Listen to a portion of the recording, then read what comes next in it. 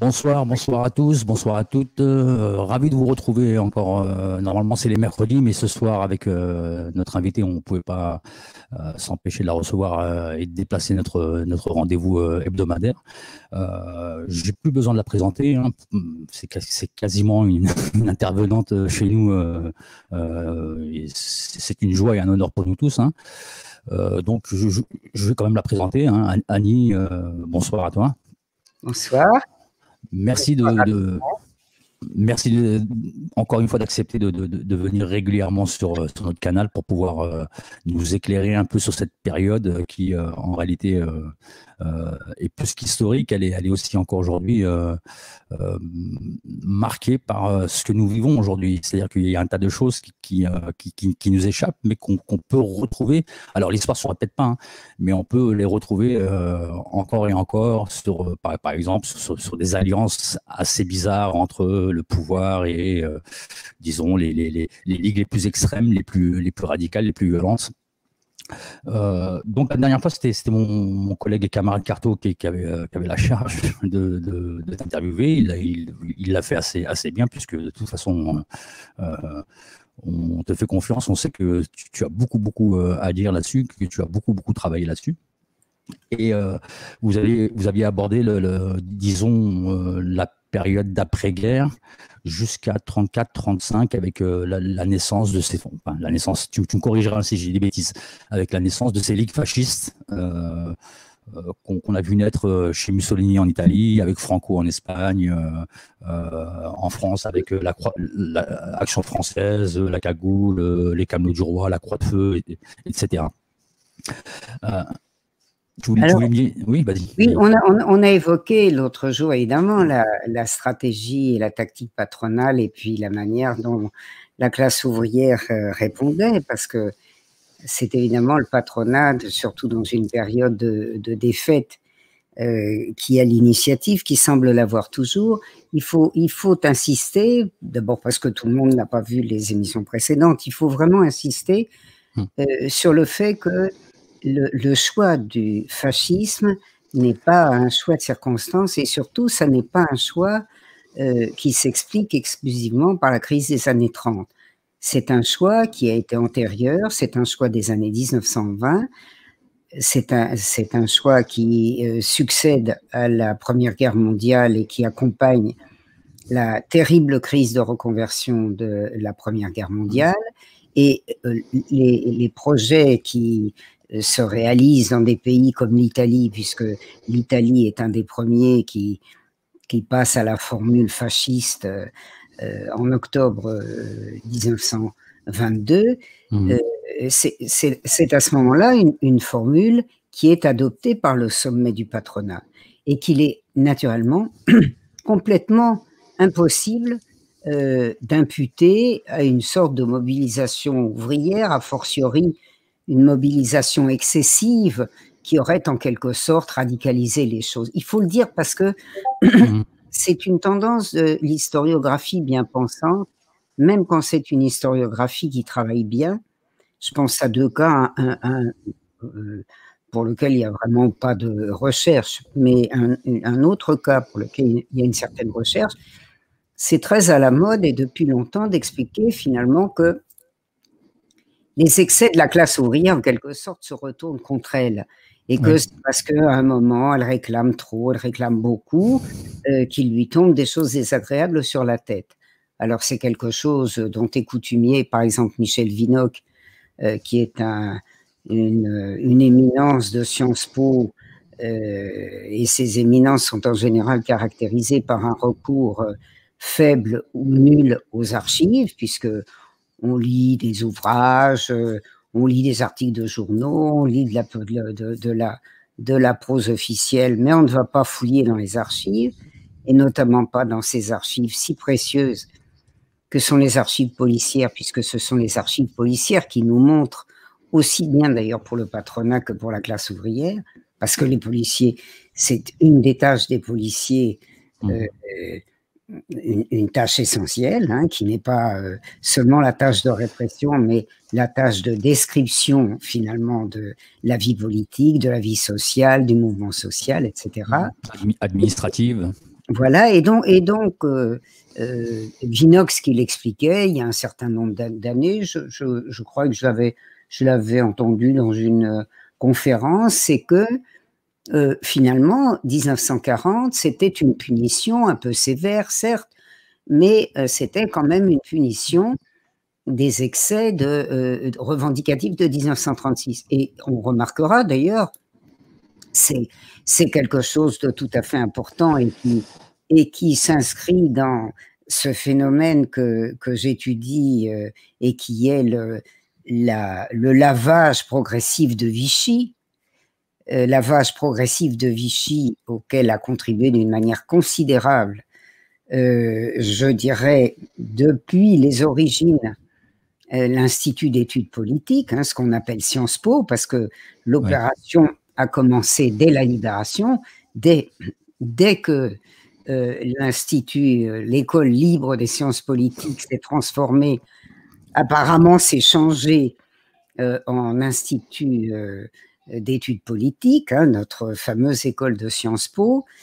Et je l'ai montré dans, sous, sous, différents aspects, mais c'est très caractéristique finalement d'un de, discours qui recoupe le discours des vainqueurs de 1940, c'est-à-dire euh, la défaite, c'est le fruit des excès de 1936, de ces euh, Français qui ne veulent pas beaucoup travailler, ou de ces Français et de ces étrangers, hein, ce qu'on appelait, ce que ces gens appelaient à l'époque les indésirables. On n'ose plus les appeler comme ça, mais c'est comme ça qu'on les traite. Et donc, euh, le, le, discours de Vichy, le discours des vainqueurs de Vichy, c'est un discours euh, qui est vraiment consacré à expliquer que non seulement la défaite, euh, mais les, difficultés, la ruine de la France sont imputables euh, aux excès de 1936. Et ça, c'est vraiment quelque chose à quoi les archives tordent le cou, puisque les choix sont faits dès 1922, qui n'ont mmh. rien à voir avec les mouvements de la classe ouvrière, et que, on va le voir d'ailleurs, ils n'ont pas pu être mis en œuvre aussi vite que c'était prévu, euh, puisqu'il y a eu une mobilisation ouvrière et que quand il y a une mobilisation ouvrière du type de celle de 1936, il n'est naturellement pas possible euh, de, mener à bien euh, dans l'immédiat des projets comme ceux qui étaient mitonnés depuis 1922. Et tu disais tout à l'heure que euh, nous Ligue, euh, voilà, c'était euh, c'était les années 30, mais tu évoquais des choses intérieures, il faut, il faut aussi le rappeler. Mmh Évidemment, ce projet qui s'exprime par, par les ligues fascistes, ces ligues fascistes qui se déploient considérablement en France dès l'immédiate après-guerre, et en particulier dont le succès est assuré par la campagne délirante qui accompagne les élections au à ce qu'on appelle le cartel des gauches, c'est-à-dire euh, les élections dont euh, Édouard Herriot, le maire de Lyon mmh. et chef du parti radical, était euh, évidemment le, enfin a été le vainqueur puisque c'était lui qui conduisait la coalition il faut rappeler d'ailleurs que le programme annoncé était un programme, y compris pour la classe ouvrière, assez séduisant, puisque il y était question, pour, pour donner quelques exemples qui montrent comment la classe ouvrière était, était impliquée, il y était question notamment de, de revenir sur l'épouvantable répression qui avait accompagné l'échec que j'ai évoqué la fois dernière de la grève des cheminots de 1920. Euh, cet échec de la grève des cheminots de 1920, euh, qui présente les mêmes caractéristiques que je vais montrer pour euh, aujourd'hui dans la dissociation de la classe ouvrière, c'est-à-dire qui s'explique non seulement par la ligne patronale, enfin par le projet patronal, mais parce que les grands patrons, et, même les moins grands, mmh. disposent de l'appui, certes clandestin, mais quelquefois à peine clandestin, des éléments les plus droitiers du mouvement syndical, c'est-à-dire pour parler clair de la, de, de, la direction de la CGT. C'est comme ça mmh. que les grèves de 1920 euh, ont échoué, et en particulier la terrible grève des cheminots. Et par exemple, euh, un des aspects du programme des Rio en 1924, c'était de revenir sur ce qui avait été plus qu'une décimation des effectifs, puisque on avait euh, mis à la porte, sans autre forme de procès, des dizaines de milliers de cheminots. Hmm.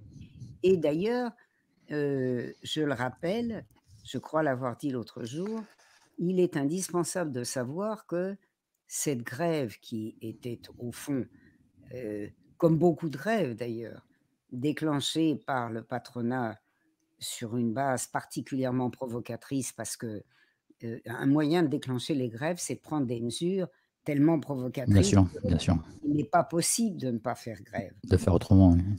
Or, comme l'a très bien montré euh, la thèse d'Annie Kriegel, qui avant de servir le Figaro a bien servi l'histoire et même le mouvement ouvrier, il faut bien le dire, parce qu'elle a fait à un moment une histoire honnête du mouvement ouvrier, faut jamais oublier quand quelqu'un a fait du bon travail, hein, éventuellement de le rappeler quand même. Voilà. Et elle a montré dans la grève des cheminots euh, que c'était un projet qui n'avait rien à voir avec l'idéologie ou avec le développement du mouvement révolutionnaire. C'était un projet qui cadrait avec la nécessité pour le patronat de se débarrasser massivement de main-d'œuvre excédentaire. Parce que les conditions de la reconstruction, les conditions du passage d'une économie de guerre euh, extrêmement prospère à une économie de paix beaucoup moins prospère, euh, ça faisait des tas de sureffectifs, de ces sureffectifs qu'on évoque ces temps-ci, après avoir dit aux travailleurs pendant la période de confinement qu'il fallait qu'ils mettent les bouchées doubles et mmh.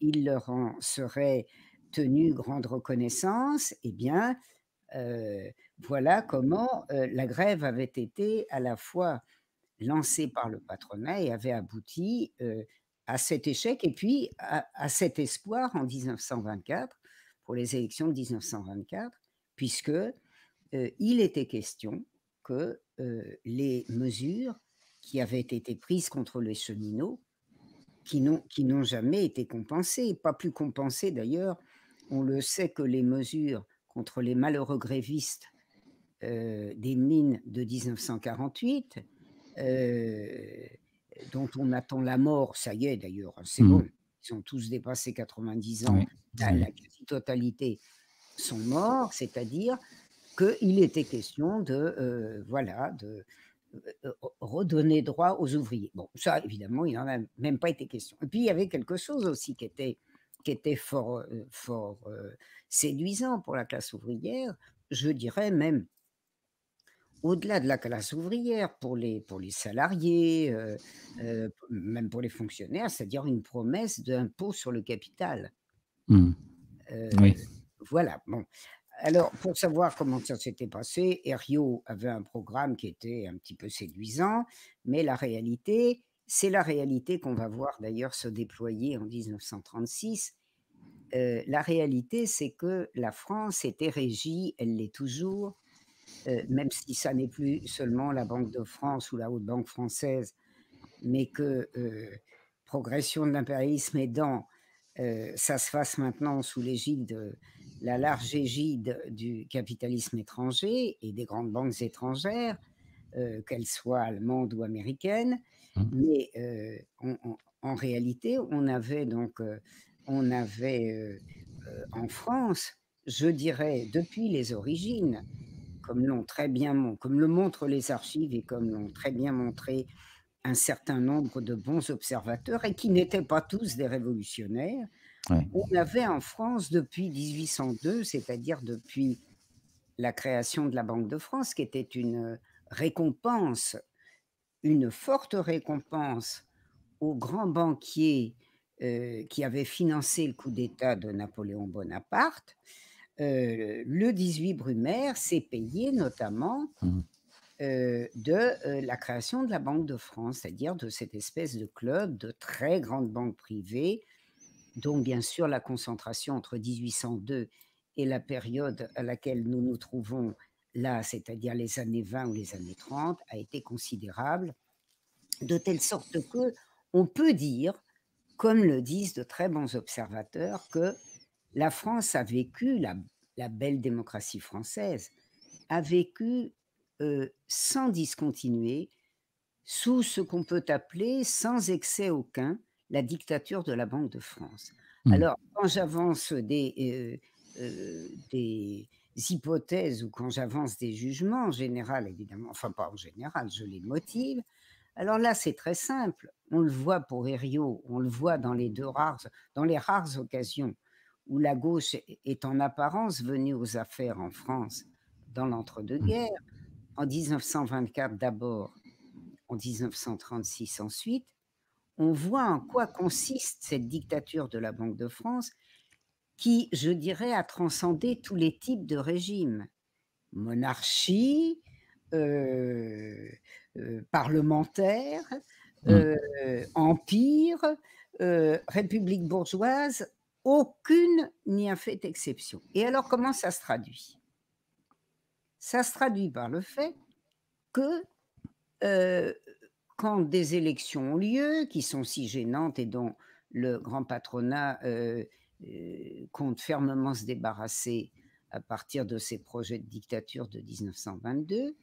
Euh, quand il y a euh, des élections législatives qui sont porteuses de nouveaux gouvernements investis par la Chambre, investis par la Chambre et le Sénat, qu'est-ce qui se passe en fait que les Français ne savent pas sous tous les régimes?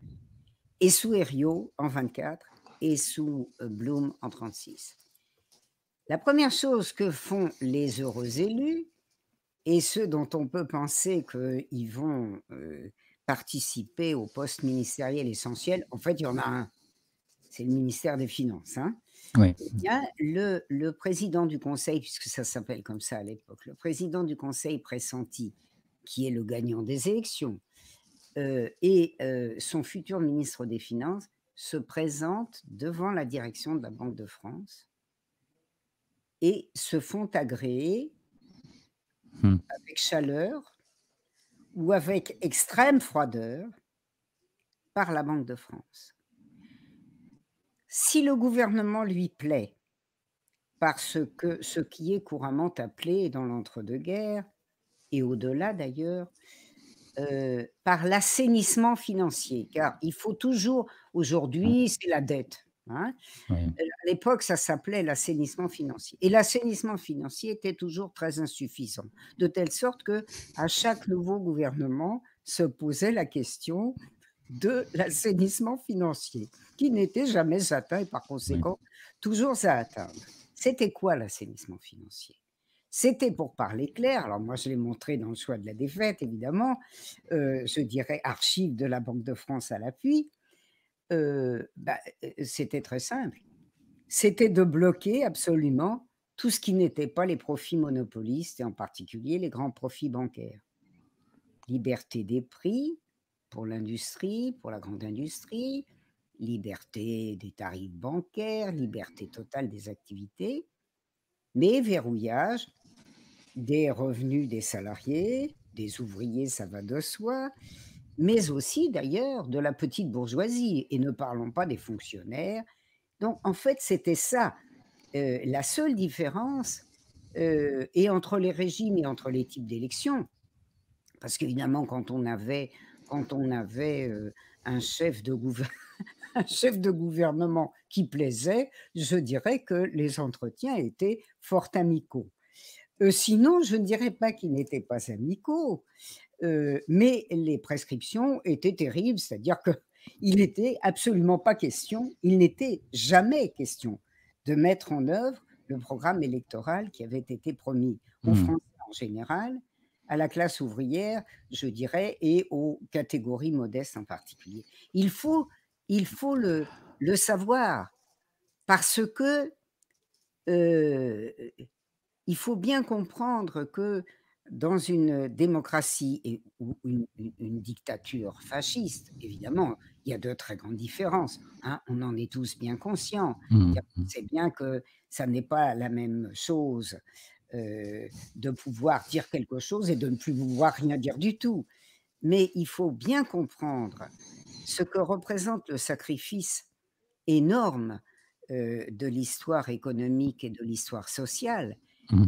A mis sur le devant, et je vais revenir à, Sciences Po qui nous a dominé l'histoire contemporaine, qui a mis sur le devant euh, l'idéologie, l'autonomie du politique, euh, tout ça nous a empêché de comprendre la continuité d'un mode de production, y compris, c'est-à-dire en l'occurrence du mode de production capitaliste, y compris sous ces diverses manifestations politiques émanation euh, de, d'élections dont on nous explique qu'elles sont tout à fait remarquablement honnêtes, démocratiques, etc. Alors, j'ai, pas le temps, on y passerait bien sûr. plus qu'une séance hein, pour montrer comment on achète les votes. Oui, tout à fait. Hein, entre, aujourd'hui encore. Aujourd'hui encore, on le voit, Annie, hein, on n'a pas besoin d'aller euh, acheter les votes, mais, mais, tu sais bien que. Non, mais acheter les votes, acheter les votes, c'est pas seulement, c'est pas seulement corrompre comme un grand industriel oui, corrompait ou corrompt Corbeil-Essonne. C'est, pas ça, acheter les votes. D'accord. Acheter les votes, c'est d'abord, parce qu'il y a aussi cet achat des votes, hein, mais bien sûr, bien sûr. Il n'est pas majoritaire. Euh, euh, ce que j'appelle acheter les votes, c'est contrôler euh, l'ensemble euh, des euh, groupes et partis qui se présentent devant les électeurs. Mmh. Ça, acheter les votes. Une campagne électorale, ça coûte très cher. très, cher. C'est-à-dire que, regardez par exemple le cas de la Lorraine, hein, qui est élu en Lorraine Alors il y aura une petite différence à un moment après la, notamment après la libération, euh, dans les circonstances créées évidemment par euh, le, les, combats des années 30, par la résistance, par euh, les combats de la libération, on va avoir des, mineurs de fer français ou italiens qui deviendront quelques-uns qui deviendront députés, en l'occurrence d'ailleurs députés communistes, mais avant-guerre, pour l'essentiel, c'est quoi? Bah, C'est les hommes, en, Lorraine par exemple, c'est les hommes des Vindelles. Hein c'est Poincaré, c'est Robert Schumann, hein, le grand homme, là, le Saint-Père mmh d'Europe. Sa carrière, je, je, lui ai réservé une part particulière parce que c'est quelqu'un évidemment qu'on nous a tellement idéalisé, qui est un mmh personnage tellement sombre, euh, tellement épouvantable, tellement caractéristique, je dirais, de l'extrême réaction de l'entre-deux-guerres, pour ne pas parler de la guerre, parce qu'on ne parle pas de la guerre aujourd'hui. Et donc, euh, non seulement le grand patronat contrôlait tout le Sénat, ou pratiquement tout le Sénat, il faut quand même, il faut quand même avoir en tête que en 1940, il y a un sénateur communiste. Et, et, et, et après les élections de 36, hein, puisque le Sénat, on le sait, c'est une élection indirecte, hein, mmh, mmh. donc euh, qui reflète évidemment euh, les, les, les, autres élections, les élections au vote direct, c'est-à-dire euh, les, les, les, élections locales, les élections municipales, les élections cantonales, etc. Il faut voir ce qu'est ce contrôle. Et il faut avoir en tête, parce que c'est essentiel pour comprendre ce qui se passe, c'est aussi essentiel pour comprendre ce qui se passe en 36 et qui est contrasté, mmh. c'est que le patronat contrôle des partis qui n'est pas censé contrôler. Et il les contrôle de fait. Il les contrôle de fait parce que, par exemple, euh, en particulier depuis 1925-26, où le populaire, l'organe de la SFIO, l'organe de ce qui est aujourd'hui, ce qui est le Parti socialiste, hein, mmh. qui s'appelle Section française de l'internationale ouvrière depuis sa fondation en 1905, depuis 1924, enfin 25, puisque le populaire a failli mourir en 1924, c'est un groupe de patrons qui finance le populaire. Mmh. Et c'est pas un groupe de patrons qui finance le populaire, je dirais, sans, sans donnant-donnant. Oui, tout à fait. C'est là qu'il faut, une fois de plus, chanter les ah.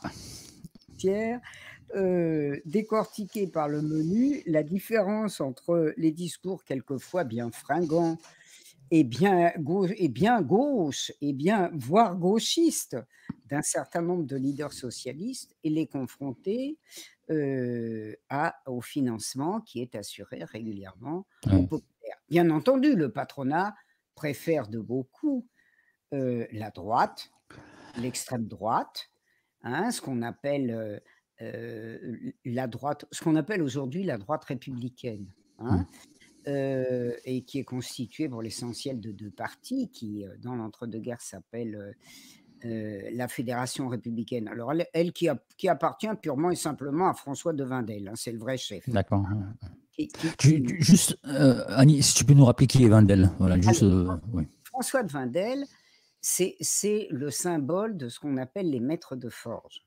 C'est-à-dire que c'est le, le principal propriétaire de la société des petits-fils, des fils et petits-fils Vindel, centrés sur, la Lorraine, mais évidemment dont, dont l'extension va bien au-delà et bien au-delà des mines de fer euh, de Moselle euh, récupéré après 1918 euh, et de Meurthe-et-Moselle. et je dirais que je le présente souvent comme un roi de France. Mmh. Il est, tiens, j'ai oublié de le dire, hier j'ai parlé de lui parce qu'il est impossible de ne pas parler de lui quand on parle des années 30. Il est donc président de ce qu'on appelle la rue de Madrid, c'est-à-dire le comité des forces, c'est-à-dire mmh. l'organe de direction de l'ensemble de la sidérurgie, qui compte des noms si importants que Schneider, par exemple, hein, le Creusot, et puis bien d'autres, mais c'est vraiment le, le, sommet, le président. Il est régent de la Banque de France, mmh. c'est-à-dire un des principaux dirigeants de la Banque de France. Il a un rôle déterminant dans l'organisation patronale qui s'appelle, depuis le début des, des années 20, la Confédération générale de la production française et qui va se prendre un autre nom à partir de juillet 1936 dans un contexte que je vais évoquer et qui s'appelle désormais la Confédération générale du patronat français, au cas où on n'aurait pas compris qu'avant il s'agissait du patronat. Hein. Comme disait euh, le théorique euh, président qu'on avait mis à sa tête, qui était un, idéologue, un idéologue patronal, Claude-Joseph Gignoux, patron, soyez des patrons, au cas où ils auraient renoncé Bien. des patrons. Bon, je ne vais pas aller jusqu'à aujourd'hui, je vais juste dire quand même que le MEDEF a été constitué euh, dans cette heureuse, euh, pour le patronat, dans cette heureuse mmh. tradition, puisque c'est le petit-fils, c'est un petit-fils de François de Vindel, le baron Cellière, qui a pris la tête de ce qui était l'héritier de la CGPF, hein, qui s'était appelé euh, en 45-46 le Centre national du patronat français, toujours les mêmes, hein, et, qui, s'est ensuite appelé le Mouvement euh, des entreprises de France, etc. C'est une grosse aristocratie. Quelle image, quelle image de la continuité du capital mmh. que euh, ce rôle des Vindel par famille éventuelle interposée, mmh. puisque les Seyères sont euh, pratiquement depuis les origines, euh, en tout cas pas le, début début du, 18e, mais très, très étroitement liés au Vindel à partir du début du 19e siècle. Donc, on a, il faut bien voir ce que ça veut dire, régent de la Banque de France. C'est un des hommes, voilà, qui participe de cette dictature de la Banque de France et qui soit peuvent serrer le, le cou d'un gouvernement et l'empêcher de vivre, parce qu'il faut se le rappeler, euh, on ne le sait pas aujourd'hui, euh, ou on ne le sait plus, d'autant que nous sommes passés dans les années 1970 de, cette, de ces avances directes de la Banque de France à ce système euh, de l'emprunt sur les marchés extérieurs mmh. qui a livré la France, euh, je dirais, euh, marché financier.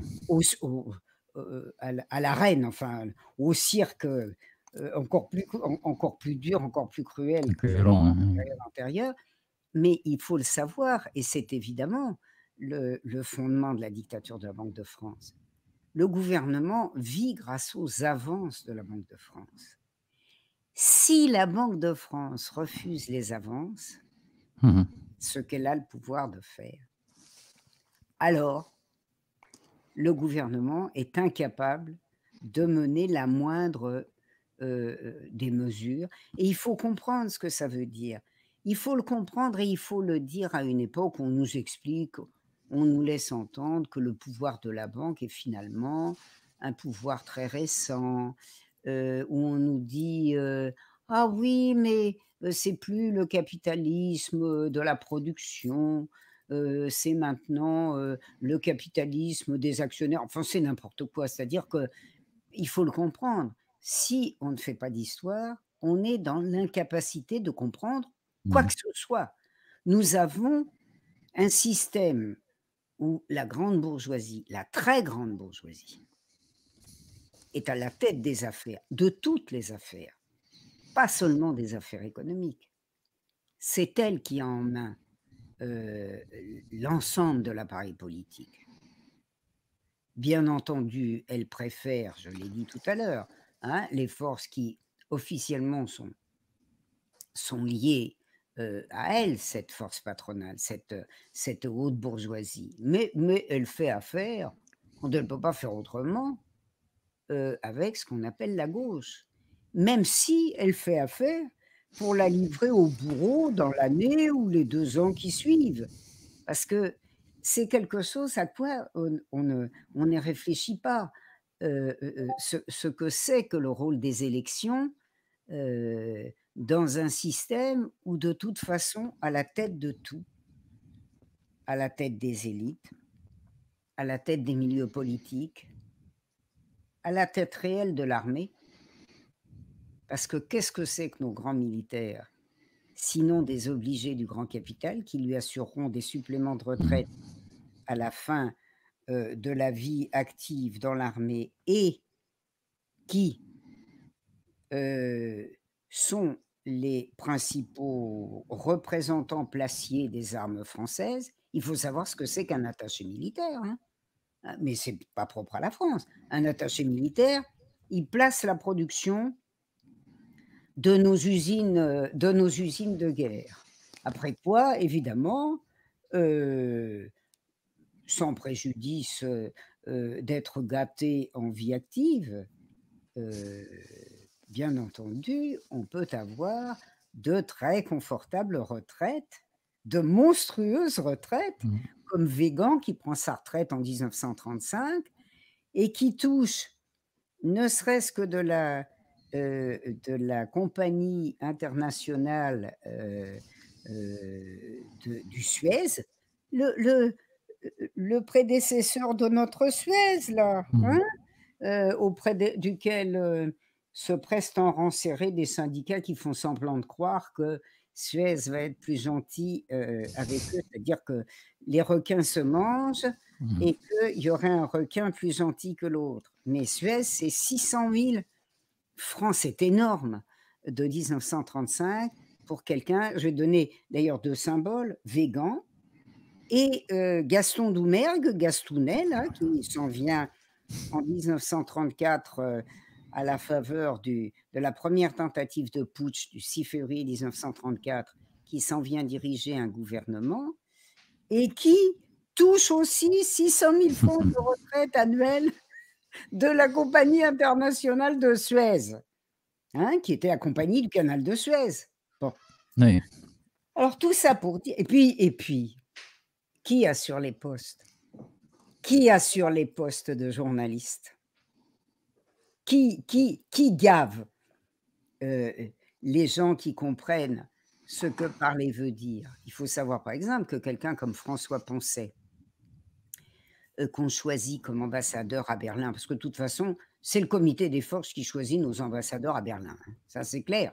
Je mmh. l'ai montré, j'ai donné les noms, etc. Donc, c'est vrai avant la Première Guerre mondiale, c'est vrai après. et qui c'est François Poncet, qui est devenu l'ambassadeur de France à Berlin? C'est l'homme que le comité des forges a utilisé euh, comme chef de sa presse, puis hmm. fait lire comme député. Donc, il faut bien comprendre ce que c'est que le maillage de la puissance. Euh, le, capital, comme le dit très bien un observateur de 1943, il tient tout.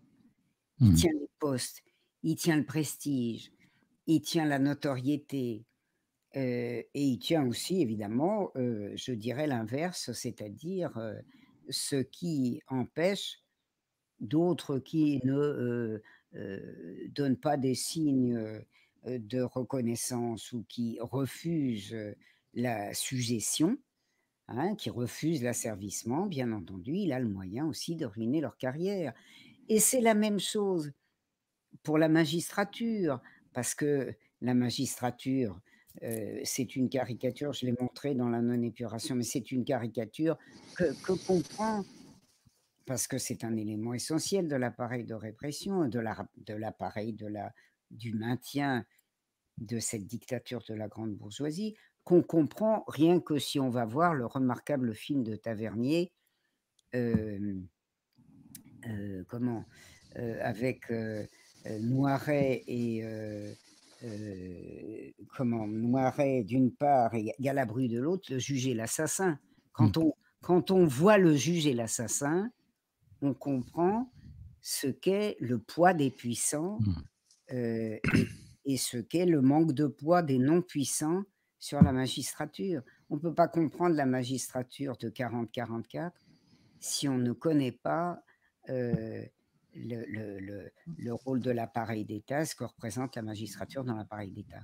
Donc, quand je dis que la France, démocratie parlementaire, se trouve dans une situation de dictature de la Banque de France, je ne fais pas d'excès de langage, mmh je ne me montre pas excessive, je décris une réalité. Il faut savoir, par exemple, que toutes les décisions du ministère des Finances, et moi je l'ai montré de manière pratique, concrète. Toutes ces décisions du ministère des Finances, c'est la Banque de France qui les rédige. Ses juristes, ses spécialistes, etc. Et je l'ai montré. C'est-à-dire que vous avez une loi de finances, eh bien, finalement, qui en est l'auteur? Eh bien, euh, ces grands banquiers qui ont d'ailleurs en général, euh, qui ont d'ailleurs évidemment euh, en général euh, soit un petit passé, voire même un grand passé comme haut fonctionnaire du ministère des Finances, soit on fait un petit séjour de d'un mois, trois mois, un mmh. an, etc., au mouvement général des fonds, trésor. Alors, il y a, y a quelqu'un qui pose une question là. Est-ce qu'on peut dire que la Banque de France d'aujourd'hui est une banque privée? On ne peut pas. On, D'abord, il faut faire une remarque, mais alors ça va me, ça va m'amener euh, à un peu anticiper, euh, parce que ça m'amène à parler évidemment du, de la réalité des transformations du Front populaire. beaucoup de gens pensent sincèrement que le Front populaire fait des vraies réformes de structure ou alors qu'il n'y arrive pas parce que finalement c'est un petit mmh. peu difficile euh, et que le malheureux Bloom est, chassé au bout de au bout d'un temps très bref, hein, puisque il arrive en avril-mai, enfin en mai 1936, et qu'il est promptement chassé, chassé en juin 1937. Mais la réforme de juillet 1936 de la Banque de France est une réforme purement bidon je l'ai montré, hein, donc je ne peux pas entrer dans les détails. Hmm. Pour les détails, il faut le choix de la défaite. Hein, montrer comment, euh, qui montre comment euh, ce qui passe euh, par la porte rentre par la fenêtre. Hein, voilà. Bon, et après, quand elle est nationalisée en 1945, il y a quelque chose qui change? Non. Non.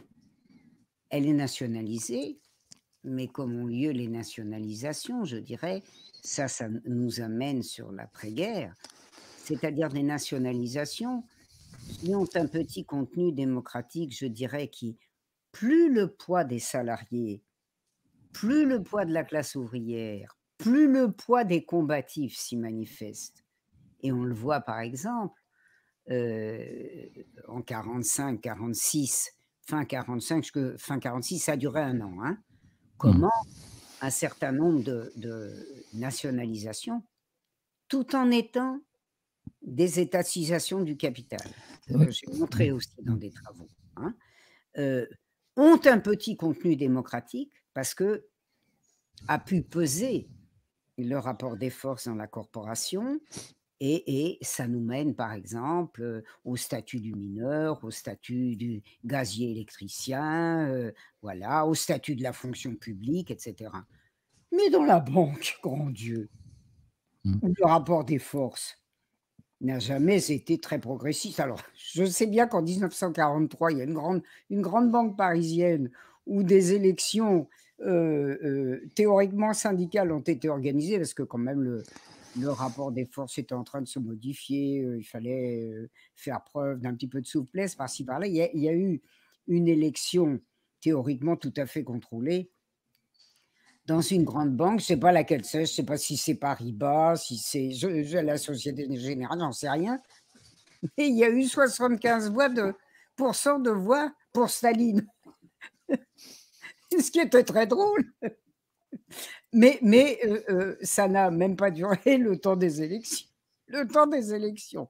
Donc il faut bien comprendre que les formes, les, les formes, les apparences de la transformation peuvent être extrêmement trompeuses. Ce qu'il y a de neuf aujourd'hui, alors ça c'est incontestable, c'est que on a ouvertement euh, une grande banque française, je dirais là, qui est en plus sous tutelle allemande, euh, c'est-à-dire, je ne vais pas rentrer dans les détails, mais euh, entre la tutelle américaine et la tutelle allemande, qui sont le fruit des dernières décennies, enfin qui sont un fruit antérieur, mais évidemment un fruit qui est venu à maturité depuis la fin de la Deuxième Guerre mondiale, on a euh, une puissance de la banque privée qui est absolument considérable. On sait très bien d'ailleurs que la Banque de France ne sert plus à grand-chose qu'à être chambre d'enregistrement mmh. euh, d'une banque européenne dont il était, alors moi je l'ai montré dans des travaux sur l'après-guerre, dont il était clair évidemment que dans le cadre de la reconstruction prioritaire de l'Allemagne occidentale, elle serait directement, euh, ou elle serait sous la double coupe des États-Unis, qui avec leur Fonds monétaire international et leurs règles de fonctionnement euh, pesaient sur l'ensemble de la sphère d'influence américaine. Et on le sait puisque ça a été le cas de la formation de la euh, Banque centrale européenne euh, sous l'égide de l'Allemagne, puisqu'il était très clair que l'euro était, serait un marque déguisé, mmh. affirmerait. Donc il faut bien comprendre exactement comme les nationalisations de Bismarck ne, sont pas des nationalisations porteuses de, de grande satisfaction pour la classe ouvrière, pour une raison très simple, c'est que la nationalisation peut être, peut même n'être qu'une manière de euh, dévaloriser euh, du capital qui mmh pèse sur le capital privé et d'assurer au capital privé les profits maxima. Il faut savoir que c'est quelque chose qui existe dans euh, les fameuses réformes de structure dont on n'a même pas fait mine de penser qu'elles avaient abouti, puisque euh, c'est fini en, 1937, euh, et ça n'a même pas commencé. Moi, j'ai montré dans le, choix de la défaite ce qu'était la réalité de la non-transformation de la Banque de France. Mais il faut bien comprendre qu'il n'y a jamais de transformation démocratique quand il n'y a pas, euh, je dirais, une transformation de l'État. Ça, n'existe pas. Mmh, mmh. Et il faut bien aussi comprendre que autant l'histoire est un facteur de compréhension absolument indispensable et, je dirais donne l'ensemble des événements qui permettent de voir euh, le, tricotage des choses, hein, comment, comment un phénomène commence, euh, euh, quelle est sa cause véritable, comment, comment les choses aboutissent, qu'on a prévu, je sais pas, 10 ans, 20 ans, 30 ans à l'avance, finalement, arrivent au jour. Mais ce qu'il faut comprendre, c'est que fondamentalement, on ne comprend pas les caractéristiques du capitalisme si on ne se donne pas la peine de ce qui était, de ce, ce, qui était le cas euh, dans les, depuis les années 20, on va dire entre, en France par exemple, les années 20 et les années 60, c'est-à-dire de comprendre le mécanisme du capital. Mmh. Comme Marx disait, on peut rester 50 ans devant une machine, on ne comprendra jamais ce que c'est que le capital, parce que le capital, c'est un rapport social entre celui qui possède et celui qui ne possède pas, il est indispensable de faire de l'histoire parce que ça aide quand même à ne pas prendre des vessies pour les lanternes. Mais penser que le politique peut faire quelque chose quand le sort de l'ensemble des, des, humains d'un pays ou du monde dépend des décisions des détenteurs du capital, c'est se faire beaucoup d'illusions. Donc, ce qu'il faut bien comprendre, c'est qu'en 1924, il n'y a pas eu de transformation. Mais le capital a horreur, horreur qu'on laisse même entrevoir des transformations. De sorte que, tu évoquais tout à l'heure euh, les ligues, le déploiement des ligues ça commence pas avec les années 30. Mmh. Ça commence avec les années 20.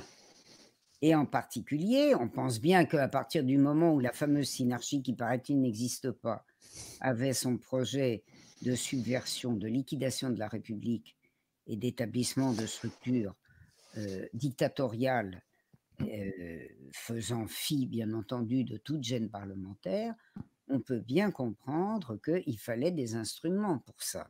Mmh. Et que donc, le grand patronat s'est trouvé non seulement en charge, comme d'habitude, de ce qu'on appelle joliment aujourd'hui euh, la droite républicaine, mais comment toutes les ligues qui se sont créées, parce qu'il y en a un paquet, hein, je dirais que pour avoir la liste, on peut lire le livre, les livres de Robert Soucy, je ne sais même pas s'ils ne sont pas épuisés, ceux-là. Ils ont fini par être, euh, ils ont fini par être euh, euh, traduits, mais Sciences Po a mené une telle guerre contre ce malheureux Robert Soucy, qui avait fait avancer le concept de fascisme en France, de mmh. fascisme français, et qui avait montré que le fascisme français était un fascisme de droite, que c'était un fascisme dont qu'on ne pouvait comprendre euh, euh, euh, non pas, enfin, qu'on comprenait, non pas en se contentant de lire les programmes officiels des ligues, la plus vieille, celle de l'Action française, née à la faveur de l'affaire Dreyfus, c'est-à-dire du déploiement anti-sémite de, de l'Action française, du mmh. fondateur de l'Action française en 1899, mais, de toutes les ligues qui, d'ailleurs, sur le plan idéologique, étaient des émanations de cette, euh, de cette action française. Il faut savoir que toutes les ligues fascistes en France viennent de l'action française. Mmh. Ils sont pratiquement tous membres de l'action française. Et ce que Soucy a démontré, que ne lui a jamais pardonné Sciences Po, c'est de démontrer que le fascisme, c'est pas les renégats de gauche, Bien sûr qu'ils sont fascistes, ils se, font, acheter. Hein. Après, hmm. on dit Oh, bah, le fascisme, c'est de gauche. Ben non, euh, un homme de gauche, à l'époque, c'est plutôt un homme, hein, parce qu'il n'y a pas beaucoup de femmes dans les politiques. Euh, un homme de gauche qui se fait acheter, c'est plus un homme de gauche, c'est un homme qui change de camp. Bon, donc, mmh. bien entendu que pour avoir une base de masse, il faut acheter à gauche. Et, enfin, on n'attrape pas les mouches avec du vinaigre. Hein on ne fait pas un parti, un faux parti ouvrier avec des banquiers. Les banquiers ne savent pas traiter les ouvriers et les employés. Il leur faut du matériau qui soit de même origine. Mais mmh. qui a fondé les ligues? Alors, j'y pense parce qu'il y a quelques années, il y a eu un téléfilm, je ne m'appelle plus son nom, je crois que c'était. Il y était beaucoup question du PPF. Et on avait un peu l'impression, avec ce téléfilm, que euh, finalement, mmh. ce sont les ligues qui avaient l'initiative, là, puis elles venaient voir les patrons en leur disant Oh là là, mais vous savez qu'est-ce qu'on est intéressant, il faudrait que vous nous financiez. Bon, comme a très bien montré Robert Soucy, ça c'est de la blague. Hein. Mmh. Toutes les ligues qui se constituent, ce qu'il appelle la première vague, jusqu'en 1933, puis la deuxième vague, de 33. Il dit à 39, son bouquin dit 39, son deuxième bouquin dit 39. C'est pas vrai, ça va jusqu'à 41, puisqu'il analyse euh, euh, la ligue euh, qui est devenue la ligue la plus, la plus célèbre, la plus importante d'ailleurs, c'est-à-dire les Croix de Feu, hmm. hein, qui s'étaient fondées. En fait, les Croix de Feu s'est fondé à la fin des années 20. Hein. C'est 28-29 les Croix de Feu. Bon, et donc, qu'est-ce qu'il montrait? Ben, Il montrait qu'il n'y a pas une ligue sans argent patronal et qui a d'ailleurs une course à l'argent patronal entre les ligues. Alors, ce que moi j'ai montré, parce que j'ai eu la chance de mmh. travailler avec bien plus d'archives que lui, et moi j'ai fait une nomenclature des ligues à partir de 1924, euh, qui se sont lancées évidemment euh, dans une course au financement patronal, que le meilleur gagne. Hein. Donc le patronat, il faut bien voir que dans la période qu'on évoque maintenant, le patronat, il dispose euh, d'une gamme politique qui est euh, considérable, je dirais d'ailleurs très semblable à la gamme politique d'aujourd'hui. C'est-à-dire mmh.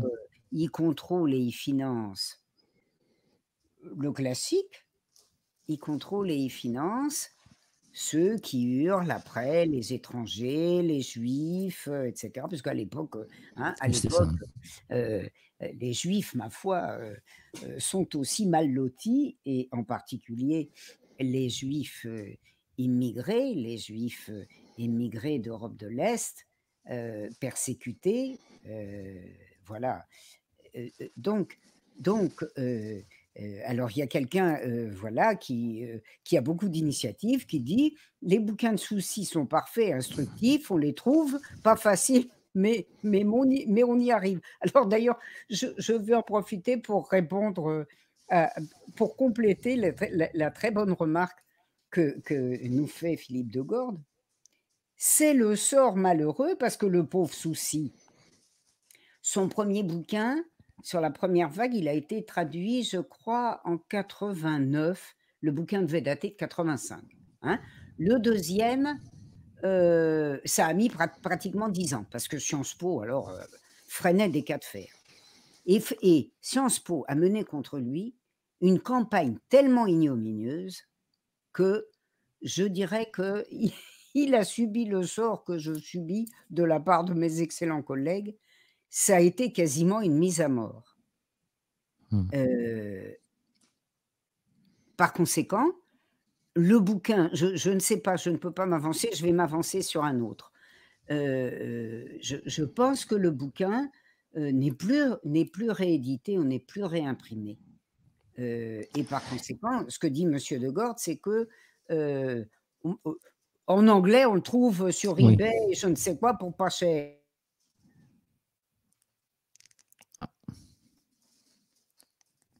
Pas 50% de la population française, pas 10.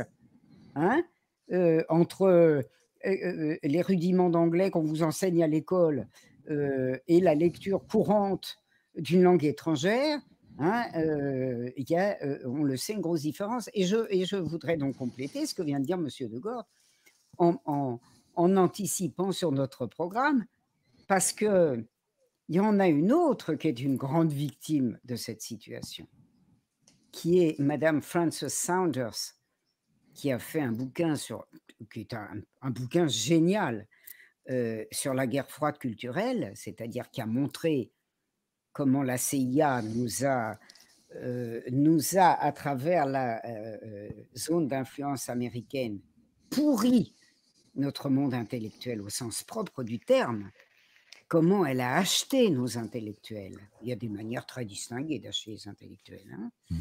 Euh, à partir de 1949-1950, bien que le projet soit très antérieur, hein, je, m'en occupe dans un livre en cours de préparation. Et elle a été traduite, ça s'appelle donc, euh, ça a été traduit en français en 2003 chez De Noël, euh, sous le titre La guerre froide culturelle. C'est une bombe, ce livre.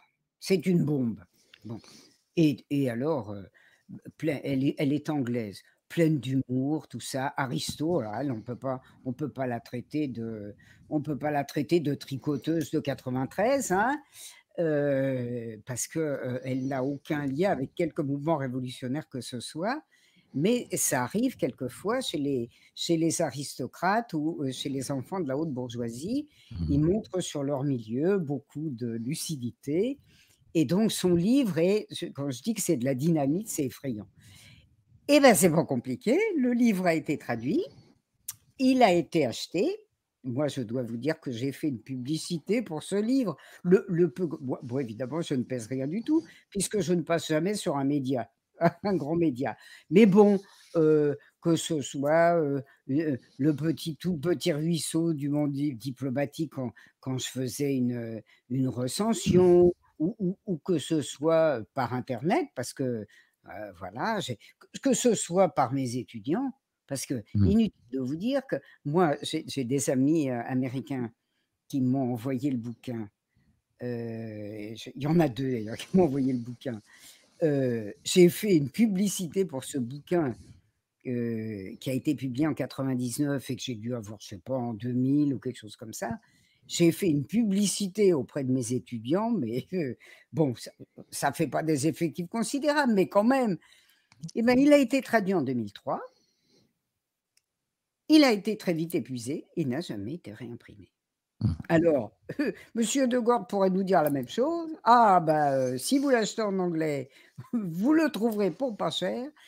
Mais si vous l'achetez en français, vous le paierez. Nos auditeurs pourront vérifier. Ces derniers temps, je n'ai pas vérifié euh, ces derniers jours, hein, mais j'ai vérifié encore très récemment. Entre 300 et 600 euros l'exemplaire français. Non. C'est un incunable. si, si, si, si, si. Si, si. Voilà. Je, crois d'ailleurs qu'un de ces jours, Delga va pouvoir l'obtenir, puisqu'il est en déshérence. Ça n'intéresse aucun. Euh, voilà, aucun, aucun éditeur. Ça, ça fait partie, on y reviendra d'ailleurs, de cette espèce de rideau de fer qui pèse sur la connaissance française Mmh. sur la connaissance de l'histoire parce que on ne traduit pratiquement aucun mmh. important. Ça arrive, hein la preuve, c'est qu'elle a été traduite en, 2003. Mais c'est vraiment euh, infinitésimal mmh. par rapport à la gigantesque production étrangère qui d'ailleurs nous, nous, met euh, lanterne rouge de l'historiographie, vu que chez nous, on ne veut parler de rien qui fâche et surtout rien qui fâche le grand capital, ça ne se fait pas. Donc, pour en revenir à notre Banque de France, pré-nationalisée, puisque elle n'est officiellement nationalisée qu'en 1945, sans que la haute banque en conçoive finalement la moindre gêne et la moindre perte, euh, notre Banque de France, bien entendu, cette émanation de la très haute banque, hein, de la très haute banque française. Alors, euh, évidemment, euh, qui donne lieu, on le sait, à tous les débordements des années 30, parce que il est fort, il est fort, fort à la mode à l'époque d'être d'être anti, antisémite. Alors, on explique sa grande banque juive il y a les Rothschild, enfin, il y a toute la haute banque protestante. Hein, et il faut bien dire honnêtement que dans la très haute banque, euh, euh, mm. euh, l'inspection des finances très catholique, elle est plutôt catholique. Hein. occupent des positions essentielles et que par conséquent, la haute banque, que ses responsables se réclament d'une confession euh, religieuse ou qu'ils soient athées, ce qui, est, ce qui est un peu rare d'ailleurs, ce qui compte, ça n'est pas sa religion, hmm. c'est le fait qu'il s'agisse de haute banque. Et donc, cette haute banque, eh bien, euh, elle est à même, elle est, elle est, c'est une manœuvrière euh, redoutable. Plus on est puissant, plus on est informé, plus on est un remarquable manœuvrier. Et ce qui se produit, et là on va parler un peu quand même de la classe ouvrière, ce qui se produit à partir de 1934, c'est-à-dire cette remobilisation ouvrière après une période de latence, de, euh, d'inaction, euh, qui a été presque continue de 19, des échecs de 1920 à 1936. Cette remobilisation, elle devient perceptible en 1934. Elle devient perceptible, non pas parce que c'en est la seule cause, elle devient perceptible parce que euh, le 6 février 1934 euh, intervient dans des conditions où l'aggravation de la crise, car la crise a été très forte en France, la crise des mmh. années 30. Euh, on, a, on a des, comment, des spécialistes qui nous expliquent que la crise n'a pas été n'a pas été si grave que ça, euh, comme euh, Alfred Sauvy, qui était, qui était euh, je dirais, moi, à l'époque de ma toute jeune carrière d'historienne, dans les années 70, qui était considéré comme un expert tout à fait, comment, tout à fait objectif, le comble de l'objectivité. C'était le chef des recruteurs de la haute administration dans la synarchie c'est pas ce que j'appellerais euh, un homme neutre, hein, exactement. Et donc, il avait fait une histoire de l'entre-deux-guerres. Hein euh, une histoire économique de l'entre-deux-guerres, de laquelle il ressortait d'ailleurs, bien entendu, que ce qui avait ruiné la France, euh, c'était mmh. l'augmentation des salaires de 36. Bon. Mais il y disait autre chose. Ce Sauvy, en particulier, il disait que la crise en France n'avait pas été si grave que ça. Écoutez, je, veux bien, moi. En 1931, les salaires de la métallurgie, les salaires nominaux, ils avaient déjà baissé de 15%. En 31 Hein? Donc, en fait, la crise, elle a été très profonde en, France. Et bien entendu, et de ce point de vue, c'est un élément de réflexion sur la, pour la période euh, actuelle, qui explique d'ailleurs qu'un certain nombre d'hommes politiques en particulier quand ils ne sont pas directement aux affaires. Je pense à un de nos anciens euh, premiers ministres, euh, voilà, qui a trouvé, euh, hein, qui a la boule de cristal, qui lui a dit qu'on allait vivre une crise sociale épouvantable. Bah oui, c'est pas compliqué, hein. On, met plein de gens au chômage, on les empêche de manger, parce que là, on, va en on en arrive ou on va en arriver à ça. Mmh hein, ça remue euh, euh, sérieusement. Dans, ça finit par remuer dans les brancards. C'est ça qui s'est passé en 33-34.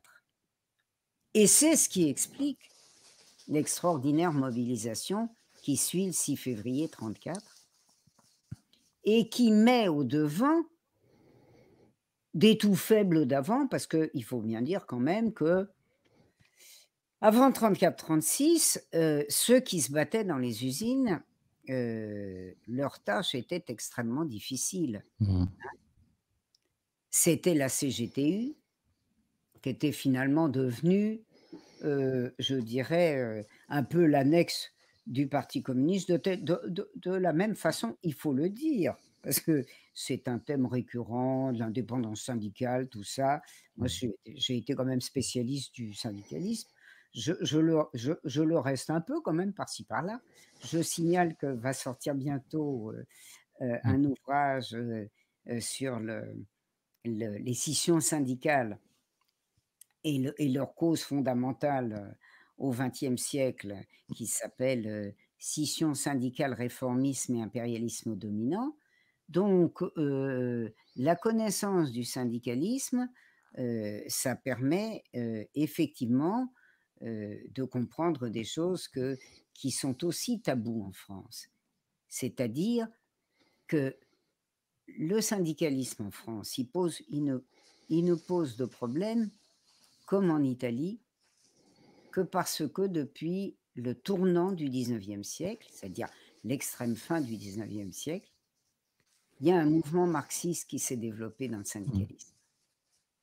Il faut le savoir, hors de la France et de l'Italie, les mouvements syndicaux et les mouvements politiques sont comme les doigts de la main, autant comme les doigts de la main, je dirais, que les syndicats et les partis patronaux.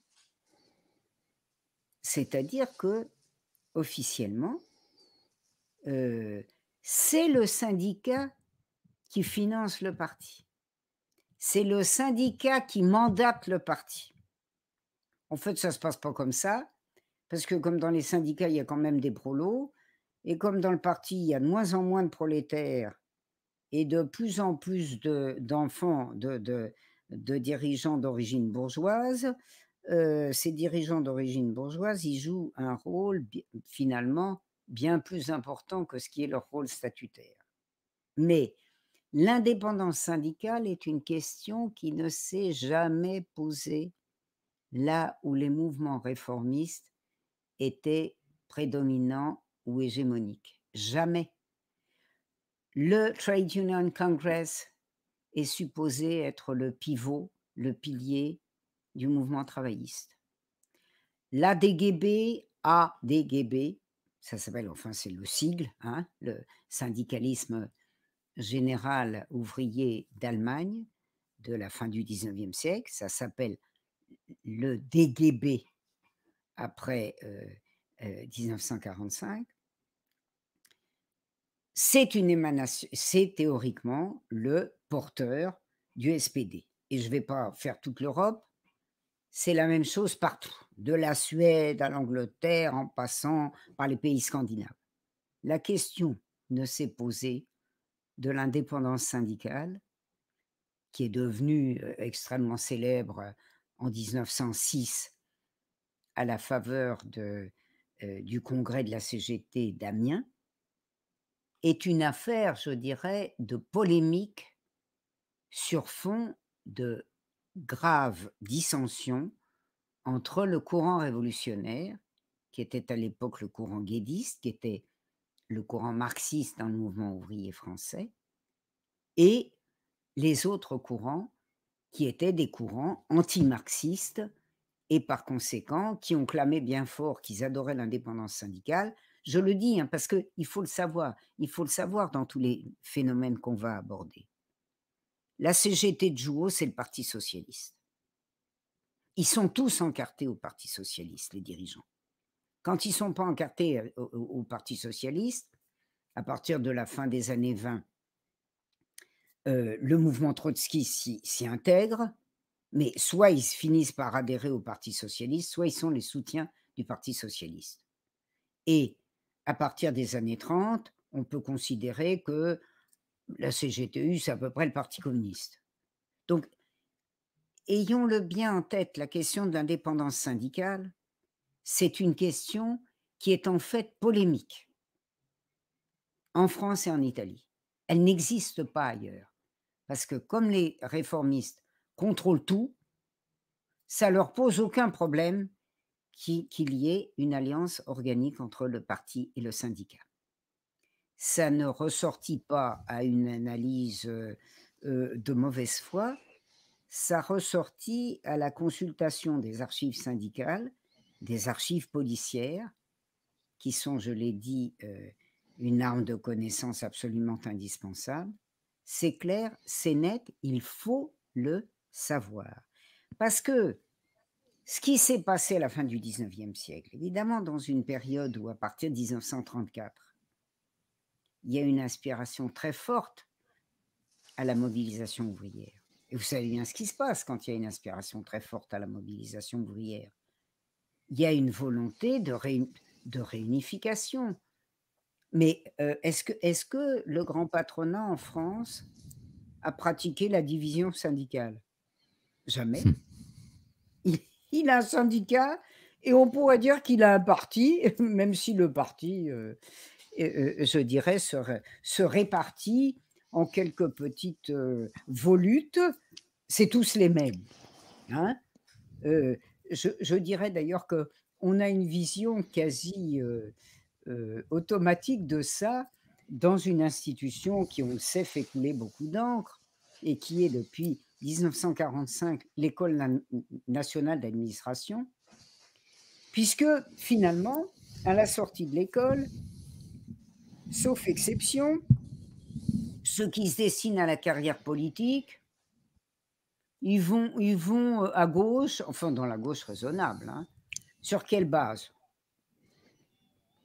Soit ils sont athées, soit, ils sont protestants, soit ils sont juifs, parce que, bon, voilà, c'est moins réactionnaire, tout ça. Ils vont aller vers le PS. Ils peuvent éventuellement, d'ailleurs, de plus en plus, aller vers la droite. Hein.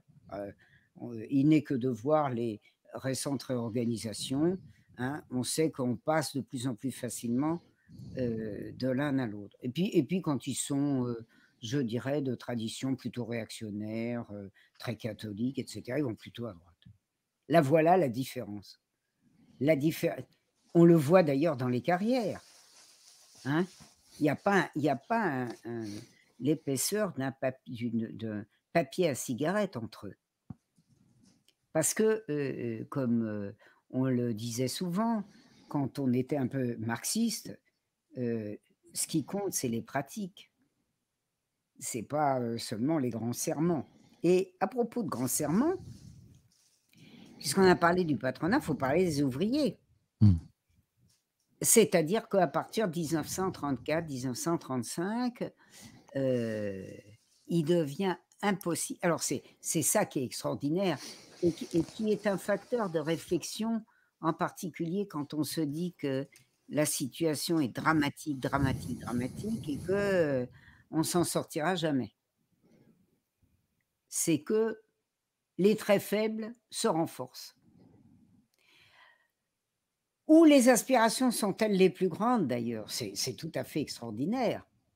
Euh, la réunification des cheminots, elle se fait en 1935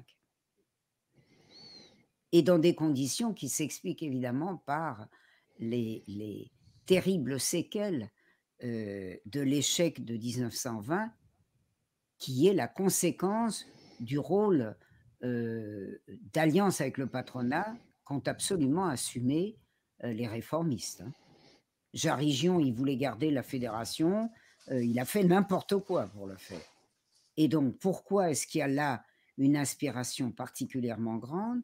Parce que les travailleurs se sont rendus compte que euh, euh, ils s'étaient mis dans une situation d'extrême faiblesse et que le seul mmh. moyen d'essayer de compenser cette euh, situation de faiblesse, c'était de se réunifier. Et c'est ça qui donne les jours roses, comme disait Engels dans les années 1890, c'est ça qui donne les jours roses euh, aux, révolutionnaires, à ce parti, petit parti communiste quand même qui avait, qui avait un hmm. peu grandi dans au début des années 20, mais enfin qui, n'avait pris que des orions à tous égards depuis les échecs des années 20, en particulier euh, euh, à partir de 1924, et qui est l'élément mobilisateur avec la CGTU, qui est le facteur essentiel. Il faut se rappeler, je l'avais dit l'autre jour,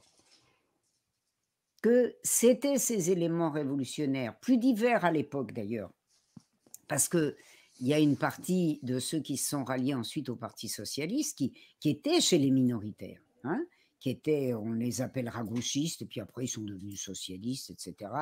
Ils sont éloignés, et, mais, mais on retrouve des phénomènes, euh, euh, on retrouve des phénomènes du même ordre. C'est-à-dire qu'il y, a eu une, euh, dans les années 30, il y a eu une décantation, c'est-à-dire que tout ce qui a été anticommuniste s'est retrouvé à la CGT ou au Parti socialiste.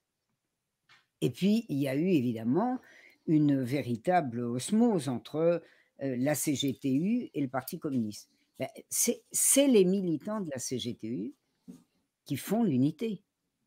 Et comme disent les réformistes, il se trouve que j'ai eu la chance, en préparant ma thèse d'État, de bénéficier des archives de la direction du Parti socialiste. elles, m'ont été communiquées par Daniel Meyer, le, comité directeur de la SFIO, euh, les, les, sessions nationales, tout ça. Parce que j'étais euh, J'étais une petite historienne qui présentait fort bien, j'avais un bon cursus, tout ça, je donnais confiance, j'avais un air innocent euh, parfait. Et par conséquent, euh, il m'avait remis les dossiers, tout ça, et était un peu déçu le jour de ma soutenance de, thèse par l'usage que j'en avais fait. Mais j'ai pu suivre la tactique du Parti socialiste dans les années 30 et, d'ailleurs dans les années 40 mais à, un niveau de caricature qu'il est très difficile d'imaginer. C'est-à-dire que la SFIO, euh, qui s'entend beaucoup mieux avec le patronat euh, qu'avec les communistes, euh, la SFIO a des relations avec les gens importants qu'on ne connaît pas et qui influent beaucoup euh, sur, son, sur ses pratiques. Et on a, par exemple, dans ses archives, dans les archives des années 30, la preuve que le Parti socialiste et la CGT de jour, qui hmm. était membre du Parti socialiste, hein, l'ancien, l'ancien anard, euh, oui, j'ai oublié parce qu'il y a les anarchistes aussi. Hein, euh, donc, le, la CGT de Jouot euh, elle, elle, a ouvertement depuis la Première Guerre mondiale, comme je l'ai montré euh, l'autre fois, et, sans, discontinuité depuis, des rapports avec le patronat euh, que la classe ouvrière ne connaît pas, que les salariés, que les fonctionnaires ne connaissent pas. Il y en a peut-être qu'on a un peu la conscience que ça se passe et puis que ça choque pas trop, tout ça.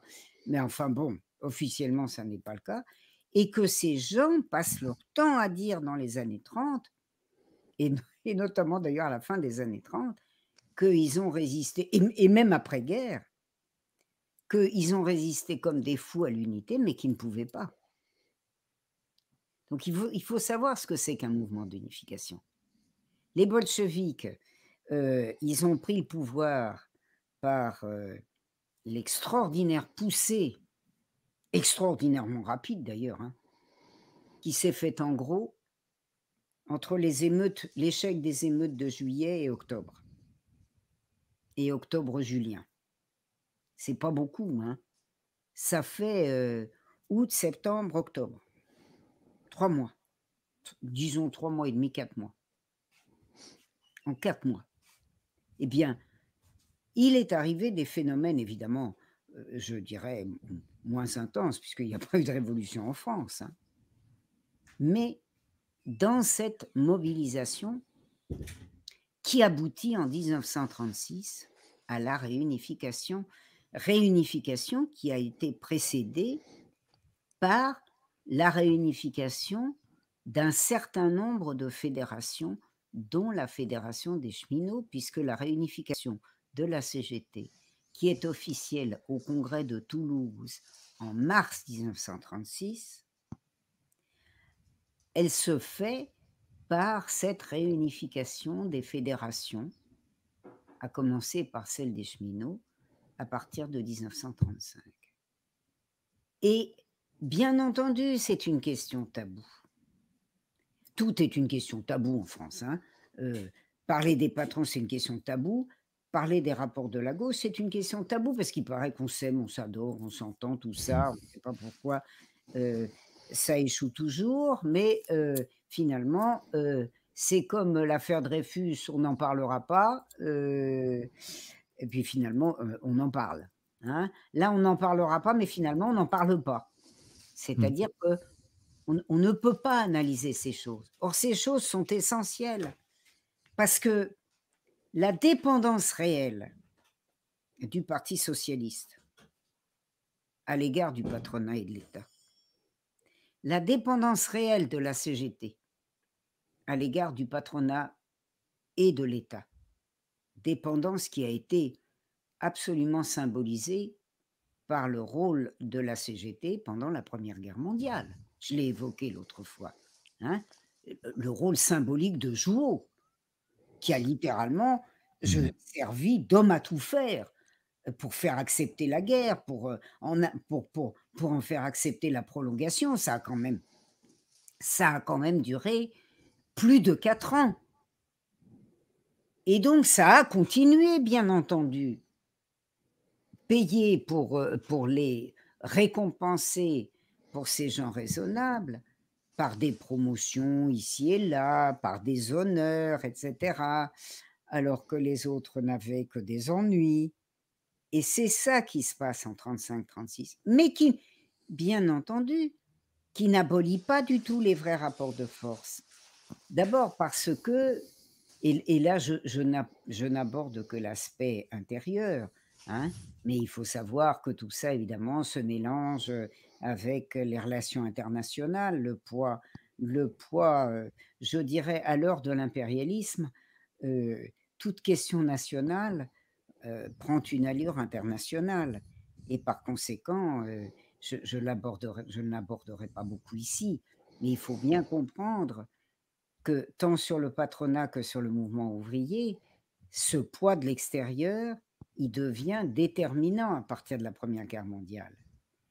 Si on ne s'en tient qu'à l'intérieur, les rapports entre le Parti socialiste et le, sommet de la société, les rapports entre la CGT, je parle de la direction là, hein, mmh. et le sommet de la société, ne sont en aucune façon changés par les élections du Front populaire. Il est d'ailleurs tout à fait caractéristique que le patronat, dont le programme politique est définitivement arrêté sous le ministère de Gastounet, de Doumergue, le, retraité du Suez, euh, c'est à l'été 1934, dans le cabinet Doumergue, où Pierre Laval est ministre des colonies et où Pétain euh, est ministre de la guerre, que se noue la solution définitive de 1940. Il y aura une dictature qui, en apparence, je dis bien en apparence, parce que ce n'est pas eux les chefs, il y aura une dictature qui sera assumée par la coqueluche du patronat, Laval, ancien socialiste, euh, enfin depuis belle lurette, hein, euh, qui euh, s'est enrichi, j'allais dire comme un goret, parce que lui, lui alors, il s'est enrichi. C'est une espèce de symbole de la corruption politique. Et ça ne date pas de la Deuxième Guerre mondiale. Donc, mmh. d'une part, Laval, que le patronat adore, et, et d'autre part, Pétain, que le patronat adore aussi. Il l'adore tellement d'ailleurs, c'est un peu comme euh, Hindenburg, auquel le grand patronat et les grands obros de l'Est ont offert une gigantesque propriété à l'est de l'Elbe.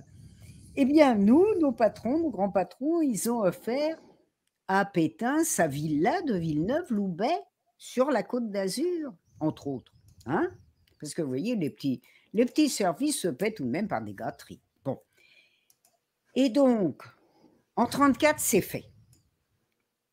Et quelle est la position du grand patronat? Dont Vindel d'ailleurs, parce que moi, moi j'ai trouvé Vindel comme d'habitude. Hein. Il y en a hmm. d'autres d'ailleurs. Il y a Ernest Mercier, le grand chef de l'électricité. C'est bien parce que nos, historiens bien pensants nous expliquent que ce, eux, eux, alors, ça a été des vrais résistants contre l'influence allemande.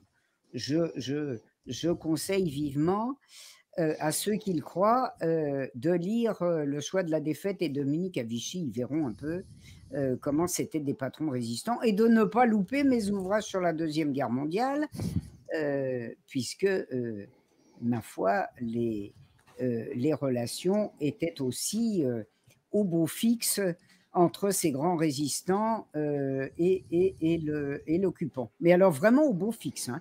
Bon, même si évidemment c'est un peu réorganisé dans la perspective de la Pax Americana, tellement évidente à partir de l'été 1941, au moment où le Blitzkrieg s'est effondré dans les plaines russes. Bien, donc je reviens à mon affaire.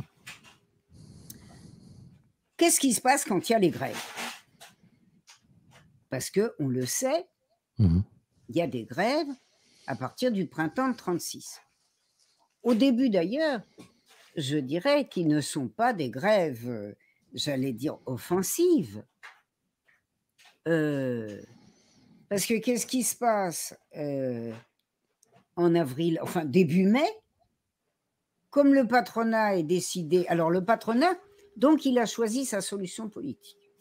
Et Vindel, parce que j'ai dit que je parlais de Vindel, qu'est-ce qu'il a dit, Vindel ben, Il a dit, c'est très simple, hein. on était là, on était encore en 35. Et alors, ils avaient leur petit Laval chéri, alors là, c'était le rêve, hein. euh, qui était ministre des Affaires étrangères. Euh, il avait euh, participé à l'élimination de Bartou, parce que Bartou était quand même très inquiétant, cet imbécile qui montrait qu'il fallait réintroduire l'Union soviétique dans les relations internationales parce que finalement la France avait intérêt aux deux fronts et qu'il vaudrait mieux que les troupes allemandes se répartissent par moitié entre le front oriental et le front occidental, mmh. ce, qui ce qui éviterait à la France de se faire occuper, comme ça a été le cas en 40, n'est-ce pas? Et donc, euh, euh, on, est, on est dans ce cas de figure en 35, hein, et Laval dit, euh, pardon, Vindel dit, voilà, on va essayer encore une solution. Laval, voilà, ça nous convient très bien. Ils l'ont adoré, hein, Laval. Bon, mais patatras, si ça marche pas, eh ben, ce sera la dernière chance avant la solution, voilà, de réforme profonde de l'État, c'est-à-dire le projet Laval-Pétain de dictature. Voilà ce qu'il dit. Mais vous pensez bien que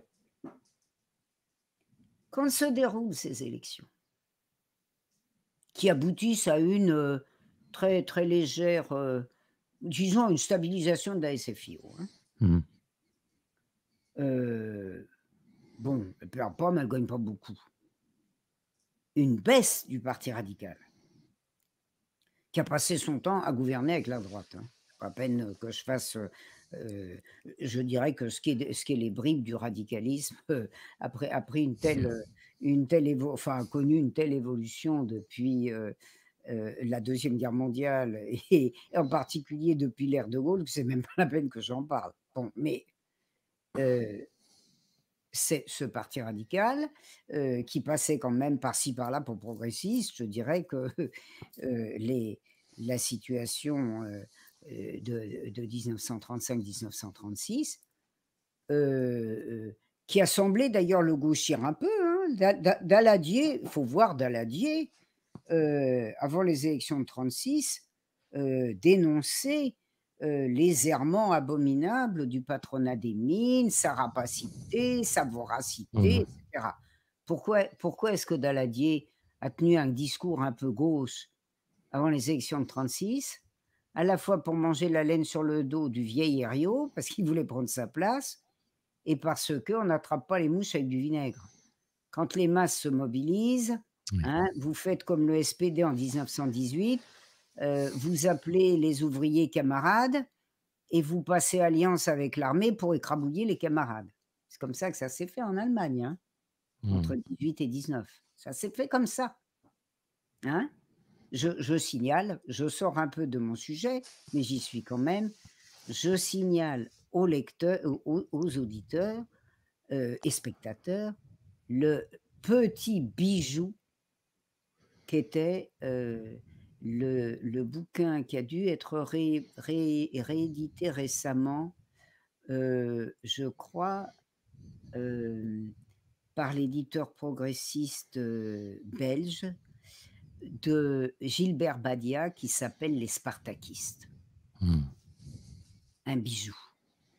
Sur l'alliance, euh, de ce type d'alliance que Marc Bloch appelle contre nature entre le mouvement ouvrier et le patronat, et là en l'occurrence l'armée, c'est-à-dire le symbole de la réaction mmh. des bunkers, de la réaction de l'Est de l'Elbe, des aristocrates et du militarisme allemand, hein, prussien euh, certes, mais allemand en général.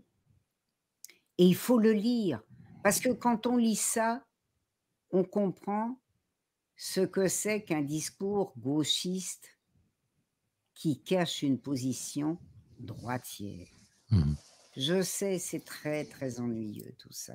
Euh, ça expose l'historien qui le montre, mais c'était pas le cas dans les années 60.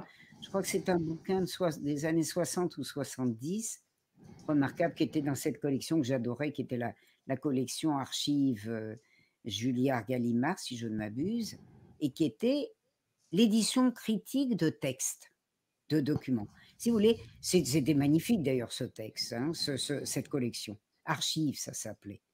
C'était donc des textes d'archives, mais qui avaient cet avantage considérable d'être de, critiqués, complétés par les historiens.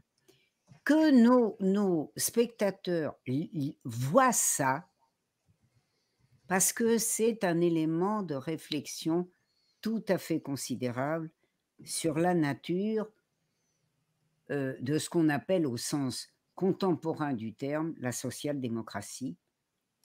Euh, je dis au sens contemporain du terme, car je rappelle que avant la, Première Guerre mondiale, disons jusque, surtout jusqu'au début du XXe siècle, hein, jusqu'au tournant du siècle, quand s'impose en Allemagne et ailleurs le réformisme. Le terme de social-démocrate c'est socialiste euh, qui, va éventuellement devenir communiste. Le, parti russe, où à un moment les, les, révolutionnaires ont la majorité, un bolchevique, ça veut dire, ça veut dire majoritaire. C'est pour ça qu'on les a appelés bolcheviques, parce qu'au hmm. congrès de 1903, au congrès de Londres de 1903, ça se tenait pas en Russie, hein, vu qu'ils étaient illégaux, euh, ils étaient majoritaires. Eh bien, à ce moment-là, comment il s'appelait le parti russe? Parti ouvrier social-démocrate de Russie. Mhm. Et puis, fin du 19e et trahison de classe de la Première Guerre mondiale, social-démocratie a pris son sens contemporain. Il faut bien comprendre que la division était antérieure. Elle datait du 19e mais la codification, la, la, euh, la gélification, elle s'est faite définitivement avec la Première Guerre mondiale, où il n'y a plus de doute sur la différence de nature entre ceux qui restaient révolutionnaires et, euh, et ceux euh, qui ne l'étaient plus. Et donc, en 1936, les relations entre le Parti socialiste d'une part la, le, pardon, la SFIO d'une part, la CGT d'autre part, et le patronat, elles restent les mêmes. Mmh. Et quand il y a une mobilisation ouvrière gigantesque, mais gigantesque à un point qu'on ne peut même pas imaginer, hein, euh, moi j'ai vu aux archives de la Chambre de commerce de Paris la réunion, l'Assemblée générale des chambres de commerce euh, du 9 juin 1936, c'est à ne pas croire toute la France est dehors. À, Bourges, toute la, toute la ville est sortie. Il y a un patron de Bourges qui raconte ce qui se passe. On n'a jamais vu ça. Quel est l'intérêt commun de ces gens qui se connaissent déjà très très bien? Ben, Quand même, c'est que le patronat, il a intérêt à casser le mouvement ouvrier, bien entendu. Et sur qui il va s'appuyer? Il va s'appuyer sur les réformistes. Et hmm. ça explique, je l'ai étudié dans un texte qui figure sur mon site euh, et qui a été publié sous forme papier par euh, la revue théorique du PRCF qui s'appelle Étincelle.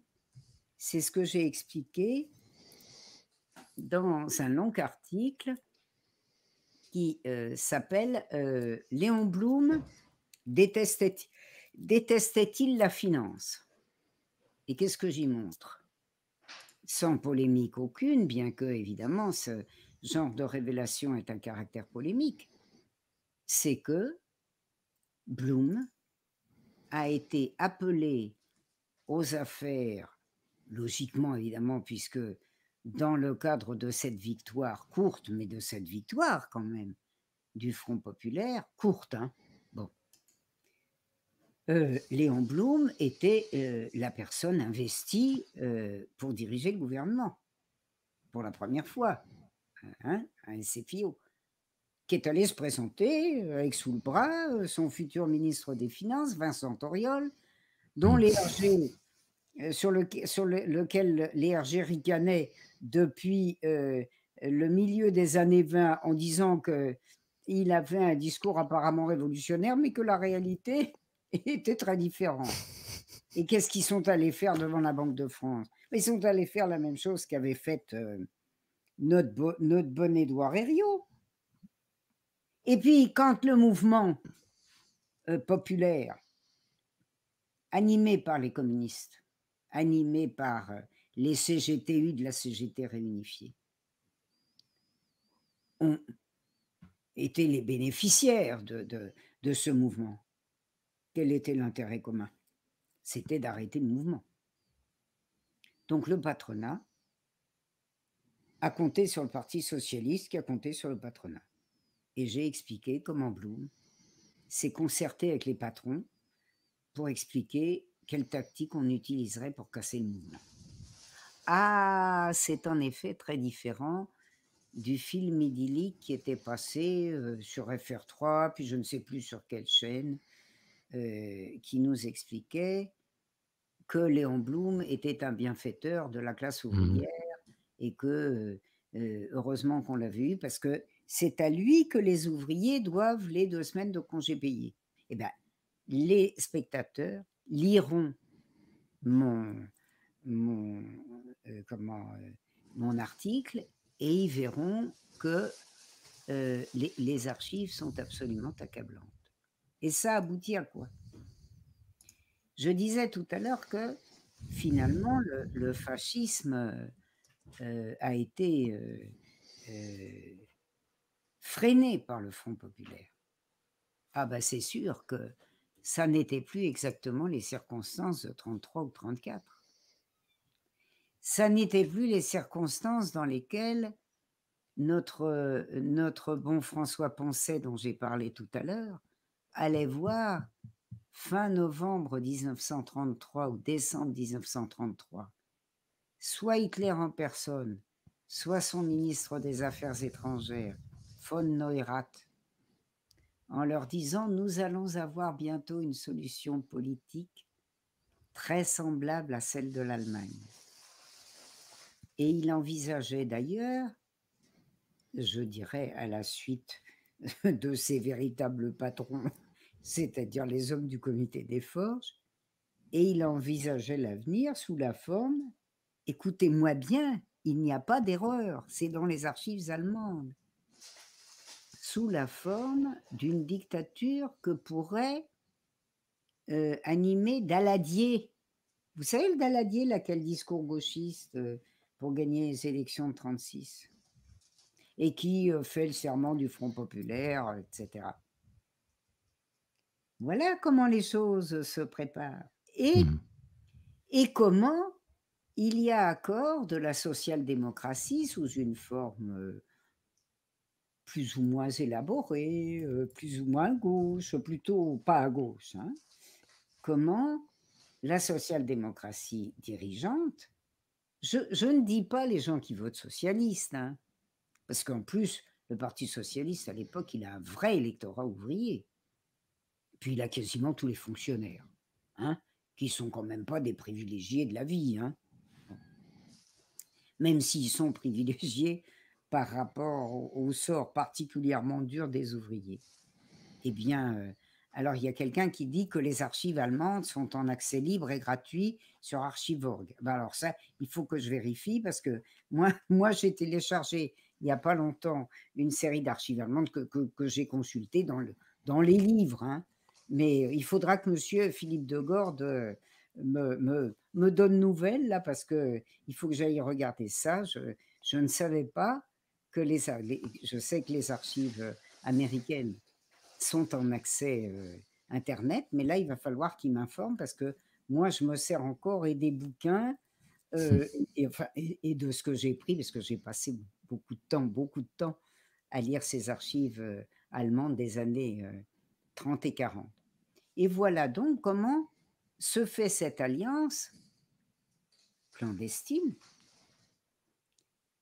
euh, dont les effets se mesurent particulièrement à partir de 1937 et surtout de 1938, puisque cette alliance est une des clés des échecs ouvriers euh, définitivement acquis en novembre 1938 dans l'échec de la grève générale, la grève générale du 30 novembre, dont l'échec a été entièrement mitonné par la direction de la CGT discutant avec le patronat et les ministres compétents. Je n'avance là encore rien qui soit polémique. Mmh Je l'ai montré dans Dominique à Vichy, c'est un type d'alliance. Là, pour le coup, c'est l'alliance intérieure. C'est l'alliance pour la casse des grèves. C'est l'alliance pour l'abandon des revendications.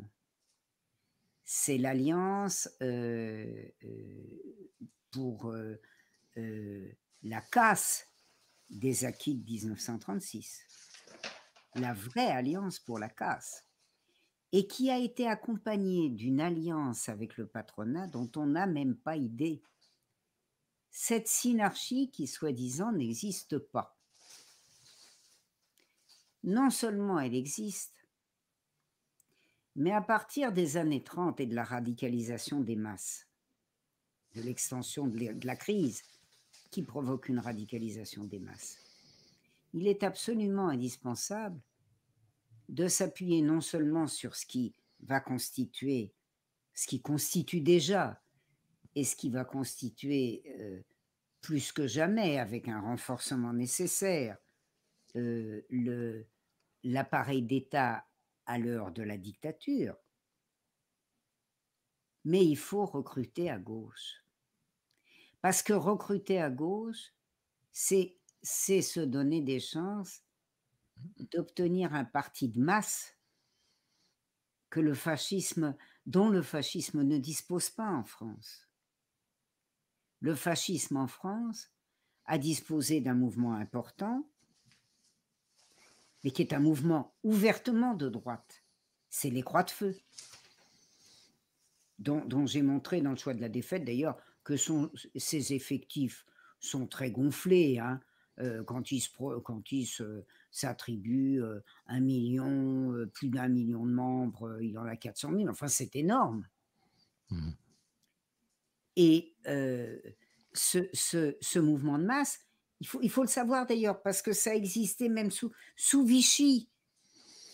notre bourgeoisie, elle n'a pas eu ce mouvement de masse dont elle a rêvé et qu'elle a cherché à constituer Bien sûr, en tapant à gauche. Les, les qu'est-ce qu'ils font? Ils sont officiers traitants euh, de, finalement de, gens modestes. Hein C'est-à-dire que Barnou, il prend en charge René Belin. Et c'est qui René Belin? C'est l'ancien gauchiste des postes qui était le successeur présumé de euh, notre bonjour, notre Belin. Le gauchiste. Et euh, euh, Marc Bloch, il a senti, il a perçu l'alliance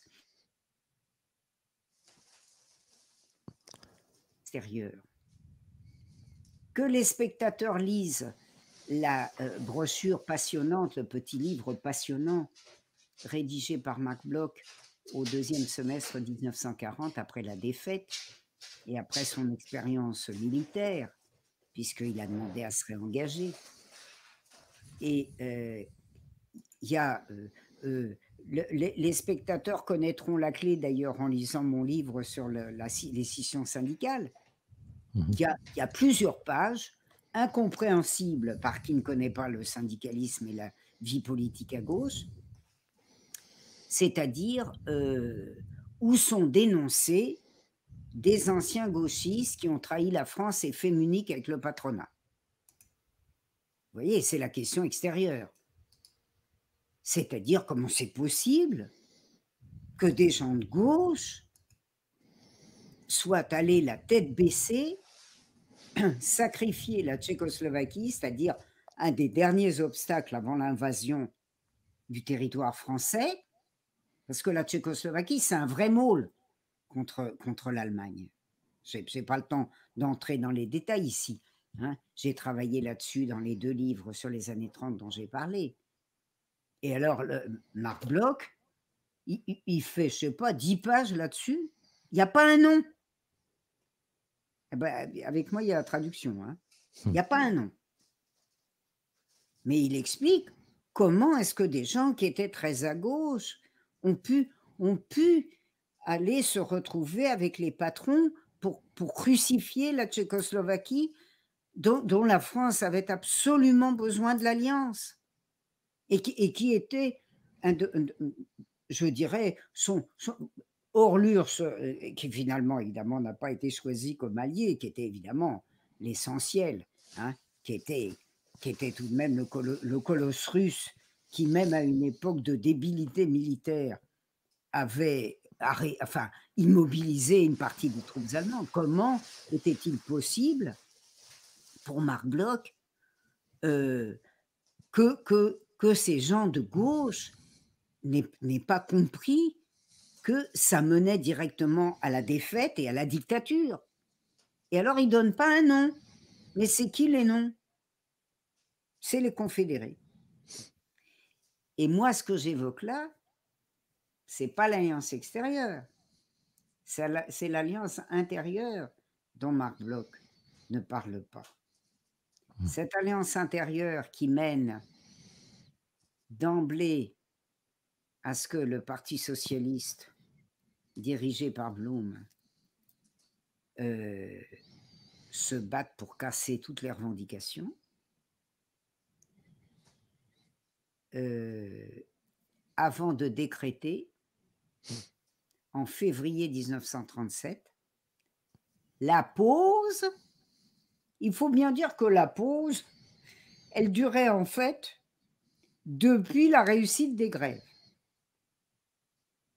C'est-à-dire que le patronat s'était réorganisé. Le patronat s'est réorganisé, je l'explique dans le choix de la défaite. Le patronat s'est réorganisé en 15 jours. Il a eu la trouille 15 jours. Après, c'est fini. Il contrôle tout. Il contrôle le Parti socialiste. Et il faut savoir que la réunification s'est faite dans des conditions qui sont dramatiques euh, pour les réunificateurs. C'est-à-dire pour les unitaires. Pourquoi? Parce que avec les fonds secrets complètement soustraits à la CGT réunifiée et qui vont permettre d'organiser la propagande du courant Belin, euh, avec ces fonds secrets, avec l'aide du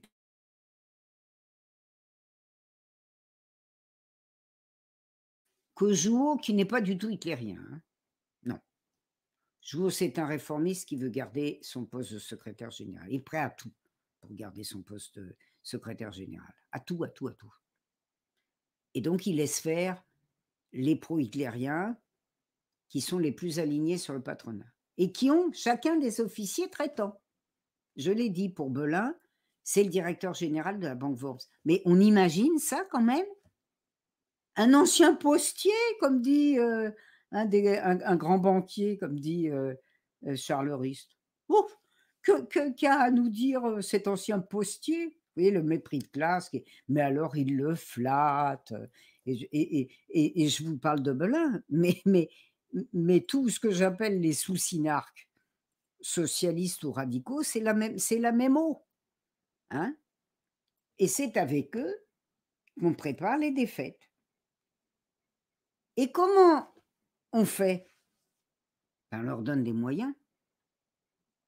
le courant syndicat, c'est pas seulement avec les fonds secrets qu'il a été gavé, c'est parce que toutes les semaines, le grand patron euh, Jacques Barneau apportait en liquide les fonds nécessaires à la euh, bonne santé de euh, l'hebdomadaire syndicat avec un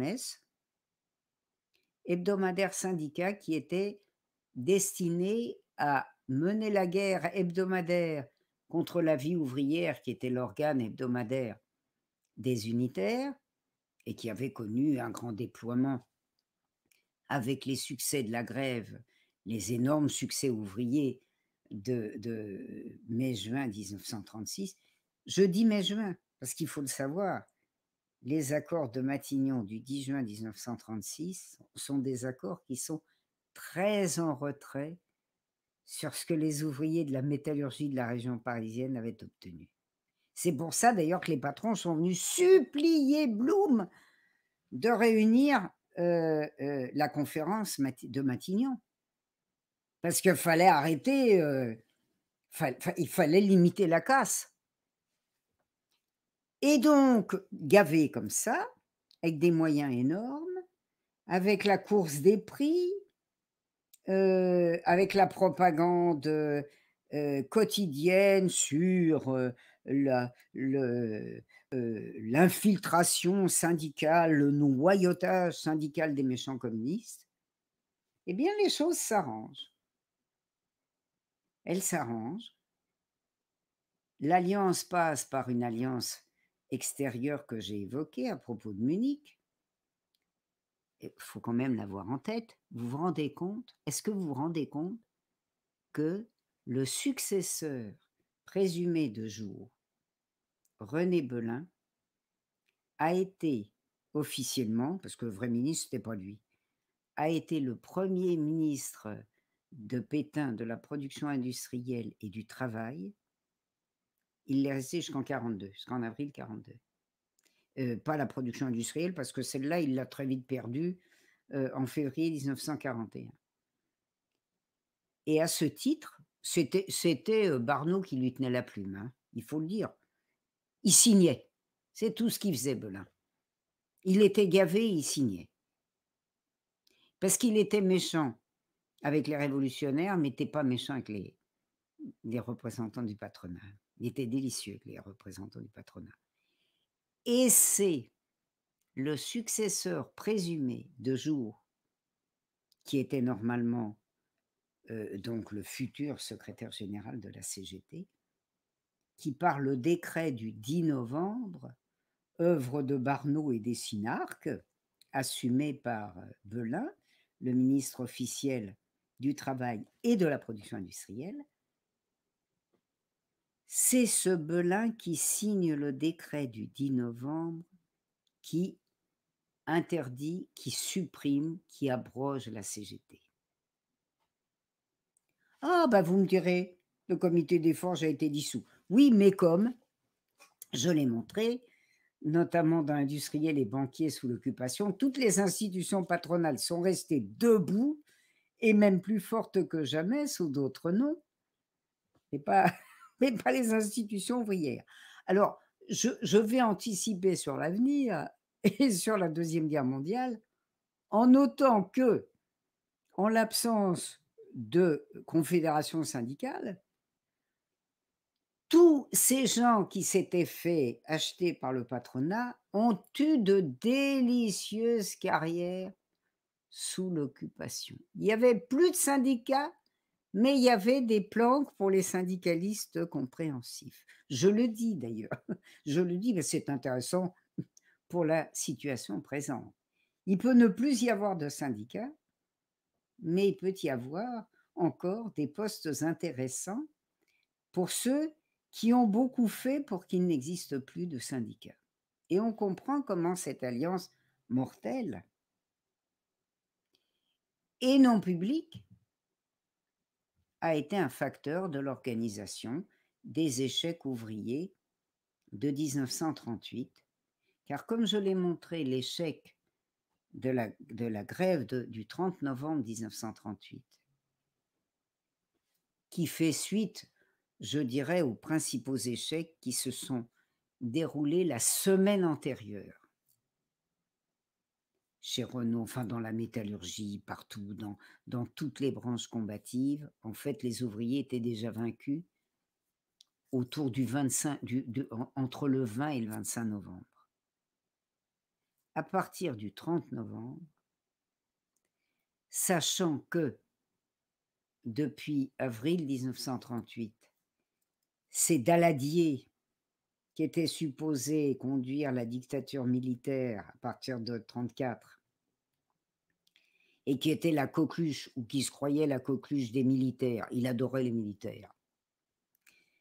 Euh, c'est donc à partir du gouvernement d'Aladier que l'ère des misères et des, et orions commence pour les travailleurs français ou s'approfondit pour les travailleurs français, parce qu'il faut le savoir, avant même les échecs de novembre 1938, ça n'est qu'une suite de décrets mortifères contre les étrangers, contre les salaires, contre les droits acquis en 1936, qui évidemment devient euh, général à partir de l'échec du 30 novembre 1938.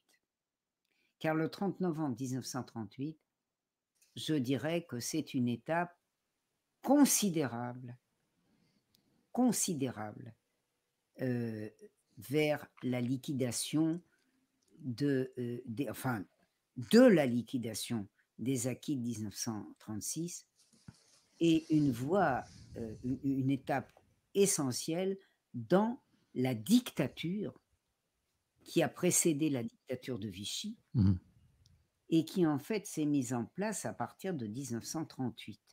Et je crois d'ailleurs que sur cette base, on peut peut-être euh, achever la séance pour qu'elle ne soit pas trop longue, euh, parce que quand on a évoqué l'échec de 1938, on a finalement, et j'ai à peine évoqué d'ailleurs les circonstances extérieures, mais on arrive, je dirais, euh, vraiment au symbole de ce qui anticipe directement sur la défaite et sur la dictature, avec d'une part la, liquidation de la Tchécoslovaquie, le Munich extérieur, dont plus personne ne sait de quoi il s'agit, mmh et, et ce que non pas les communistes, mais les Allemands et les dirigeants français ont appelé le Munich intérieur, car il était indispensable que le Munich extérieur fût complété par une victoire écrasante sur la classe ouvrière et ce qu'elle avait obtenu en 1936.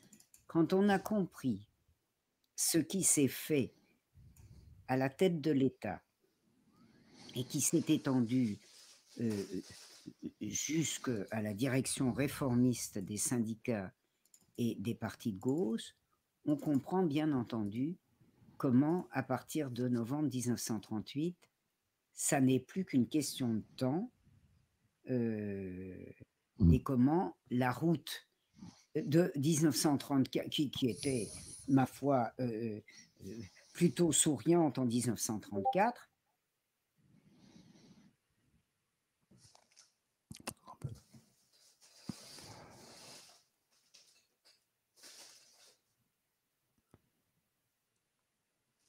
Ah.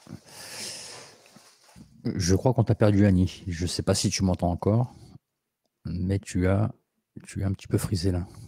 Je ne sais pas si. ah, oui. ah. Ouais. c'est revenu. C'est revenu. C'est revenu. C'était par chez toi?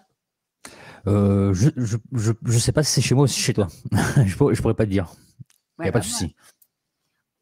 On, est, on, est, euh, on, on, repartira de là. Hein, oui, très bien. Quand on, a compris 38, on a compris ça.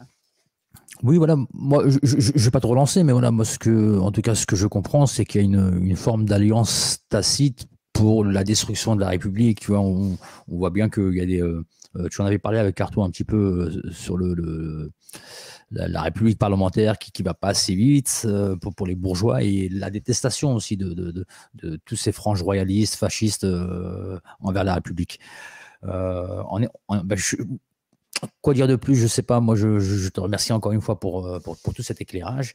Euh, je te dis au mois prochain. Voilà, au mois prochain. Hein. prochaine, prochaine étape. Euh, on, fera pareil. Voilà. Eh bien, bonne fin de soirée et puis à bientôt. Eh merci beaucoup. Je ne vais pas te retenir plus longtemps parce que je sais que tu, tu, euh, tu as beaucoup de choses à faire et que tu, dois aller te reposer un peu. En tout cas, merci beaucoup Annie. Euh, de... je, remercie aussi euh, les, les, spectateurs qui ont mis un grain de sel très intéressant. Voilà. Et puis, à la fois prochaine.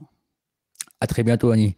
Merci beaucoup. Mais, moi, moi, pareil, je vais remercier tous les chatteurs, qu'on, les chatteuses qui ont participé ce soir à, notre émission, qui ont, été très actifs et euh, euh, qui nous ont appris beaucoup de choses, surtout sur les archives euh, allemandes. Hein. Ah merci. Ah oui, non, mais là, j'attends. Là, On ira voir. complément, hein, tu, me, tu me tiens au courant par la voie électronique de, de cette information qui nous a été donnée et que j'ignorais. Tout à fait, oui. Ouais, ouais. J'irai vérifier. Que c'est un, c'est un étudiant euh, au début des années 2000, ça doit, doit, être vers 2005 ou quelque chose comme ça, qui m'a appris, parce que moi j'allais toujours regarder euh, mes volumes à la, à la bibliothèque de documentation internationale contemporaine de Nanterre, qui est devenue la contemporaine. Mmh. Euh, et c'est un étudiant qui m'a appris que c'était en ligne, ah. qui, qui, a passé la grecque de géographie après et qui qui est devenu donc enseignant du secondaire et qui, euh, je crois, prépare euh, à le projet de faire une thèse, non pas d'histoire, mais de géographie. Mais il aimait beaucoup l'histoire. On en apprend, on en apprend. Et, encore une fois, tu vois, on, on, en parlait tout à l'heure au téléphone, euh, l'intérêt de, de, de, l'Internet. Hein. Il y a du bon, mais enfin, il, y a, du, il y a du mauvais, mais il y a aussi du très très bon. Hein, le, fait d'aller pouvoir consulter des archives. On prend, sa substance où on peut par les temps exact. Hein, et ça n'est pas sur les grandes ondes et dans les grands moyens d'information qu'on la trouve, cette substance. Tout à fait, tout à fait. Encore une fois, un grand, grand merci. Euh, à très, très bientôt, Annie. Bonne, à très... fin de soirée à tout le monde. Bonne fin de soirée à tout le monde. Bonne soirée à vous. Merci encore de nous avoir suivis. Euh, ne lâchez rien. Euh, cultivez-vous, informez-vous. Tout ira bien. Bonne soirée à vous. À bientôt. Au revoir.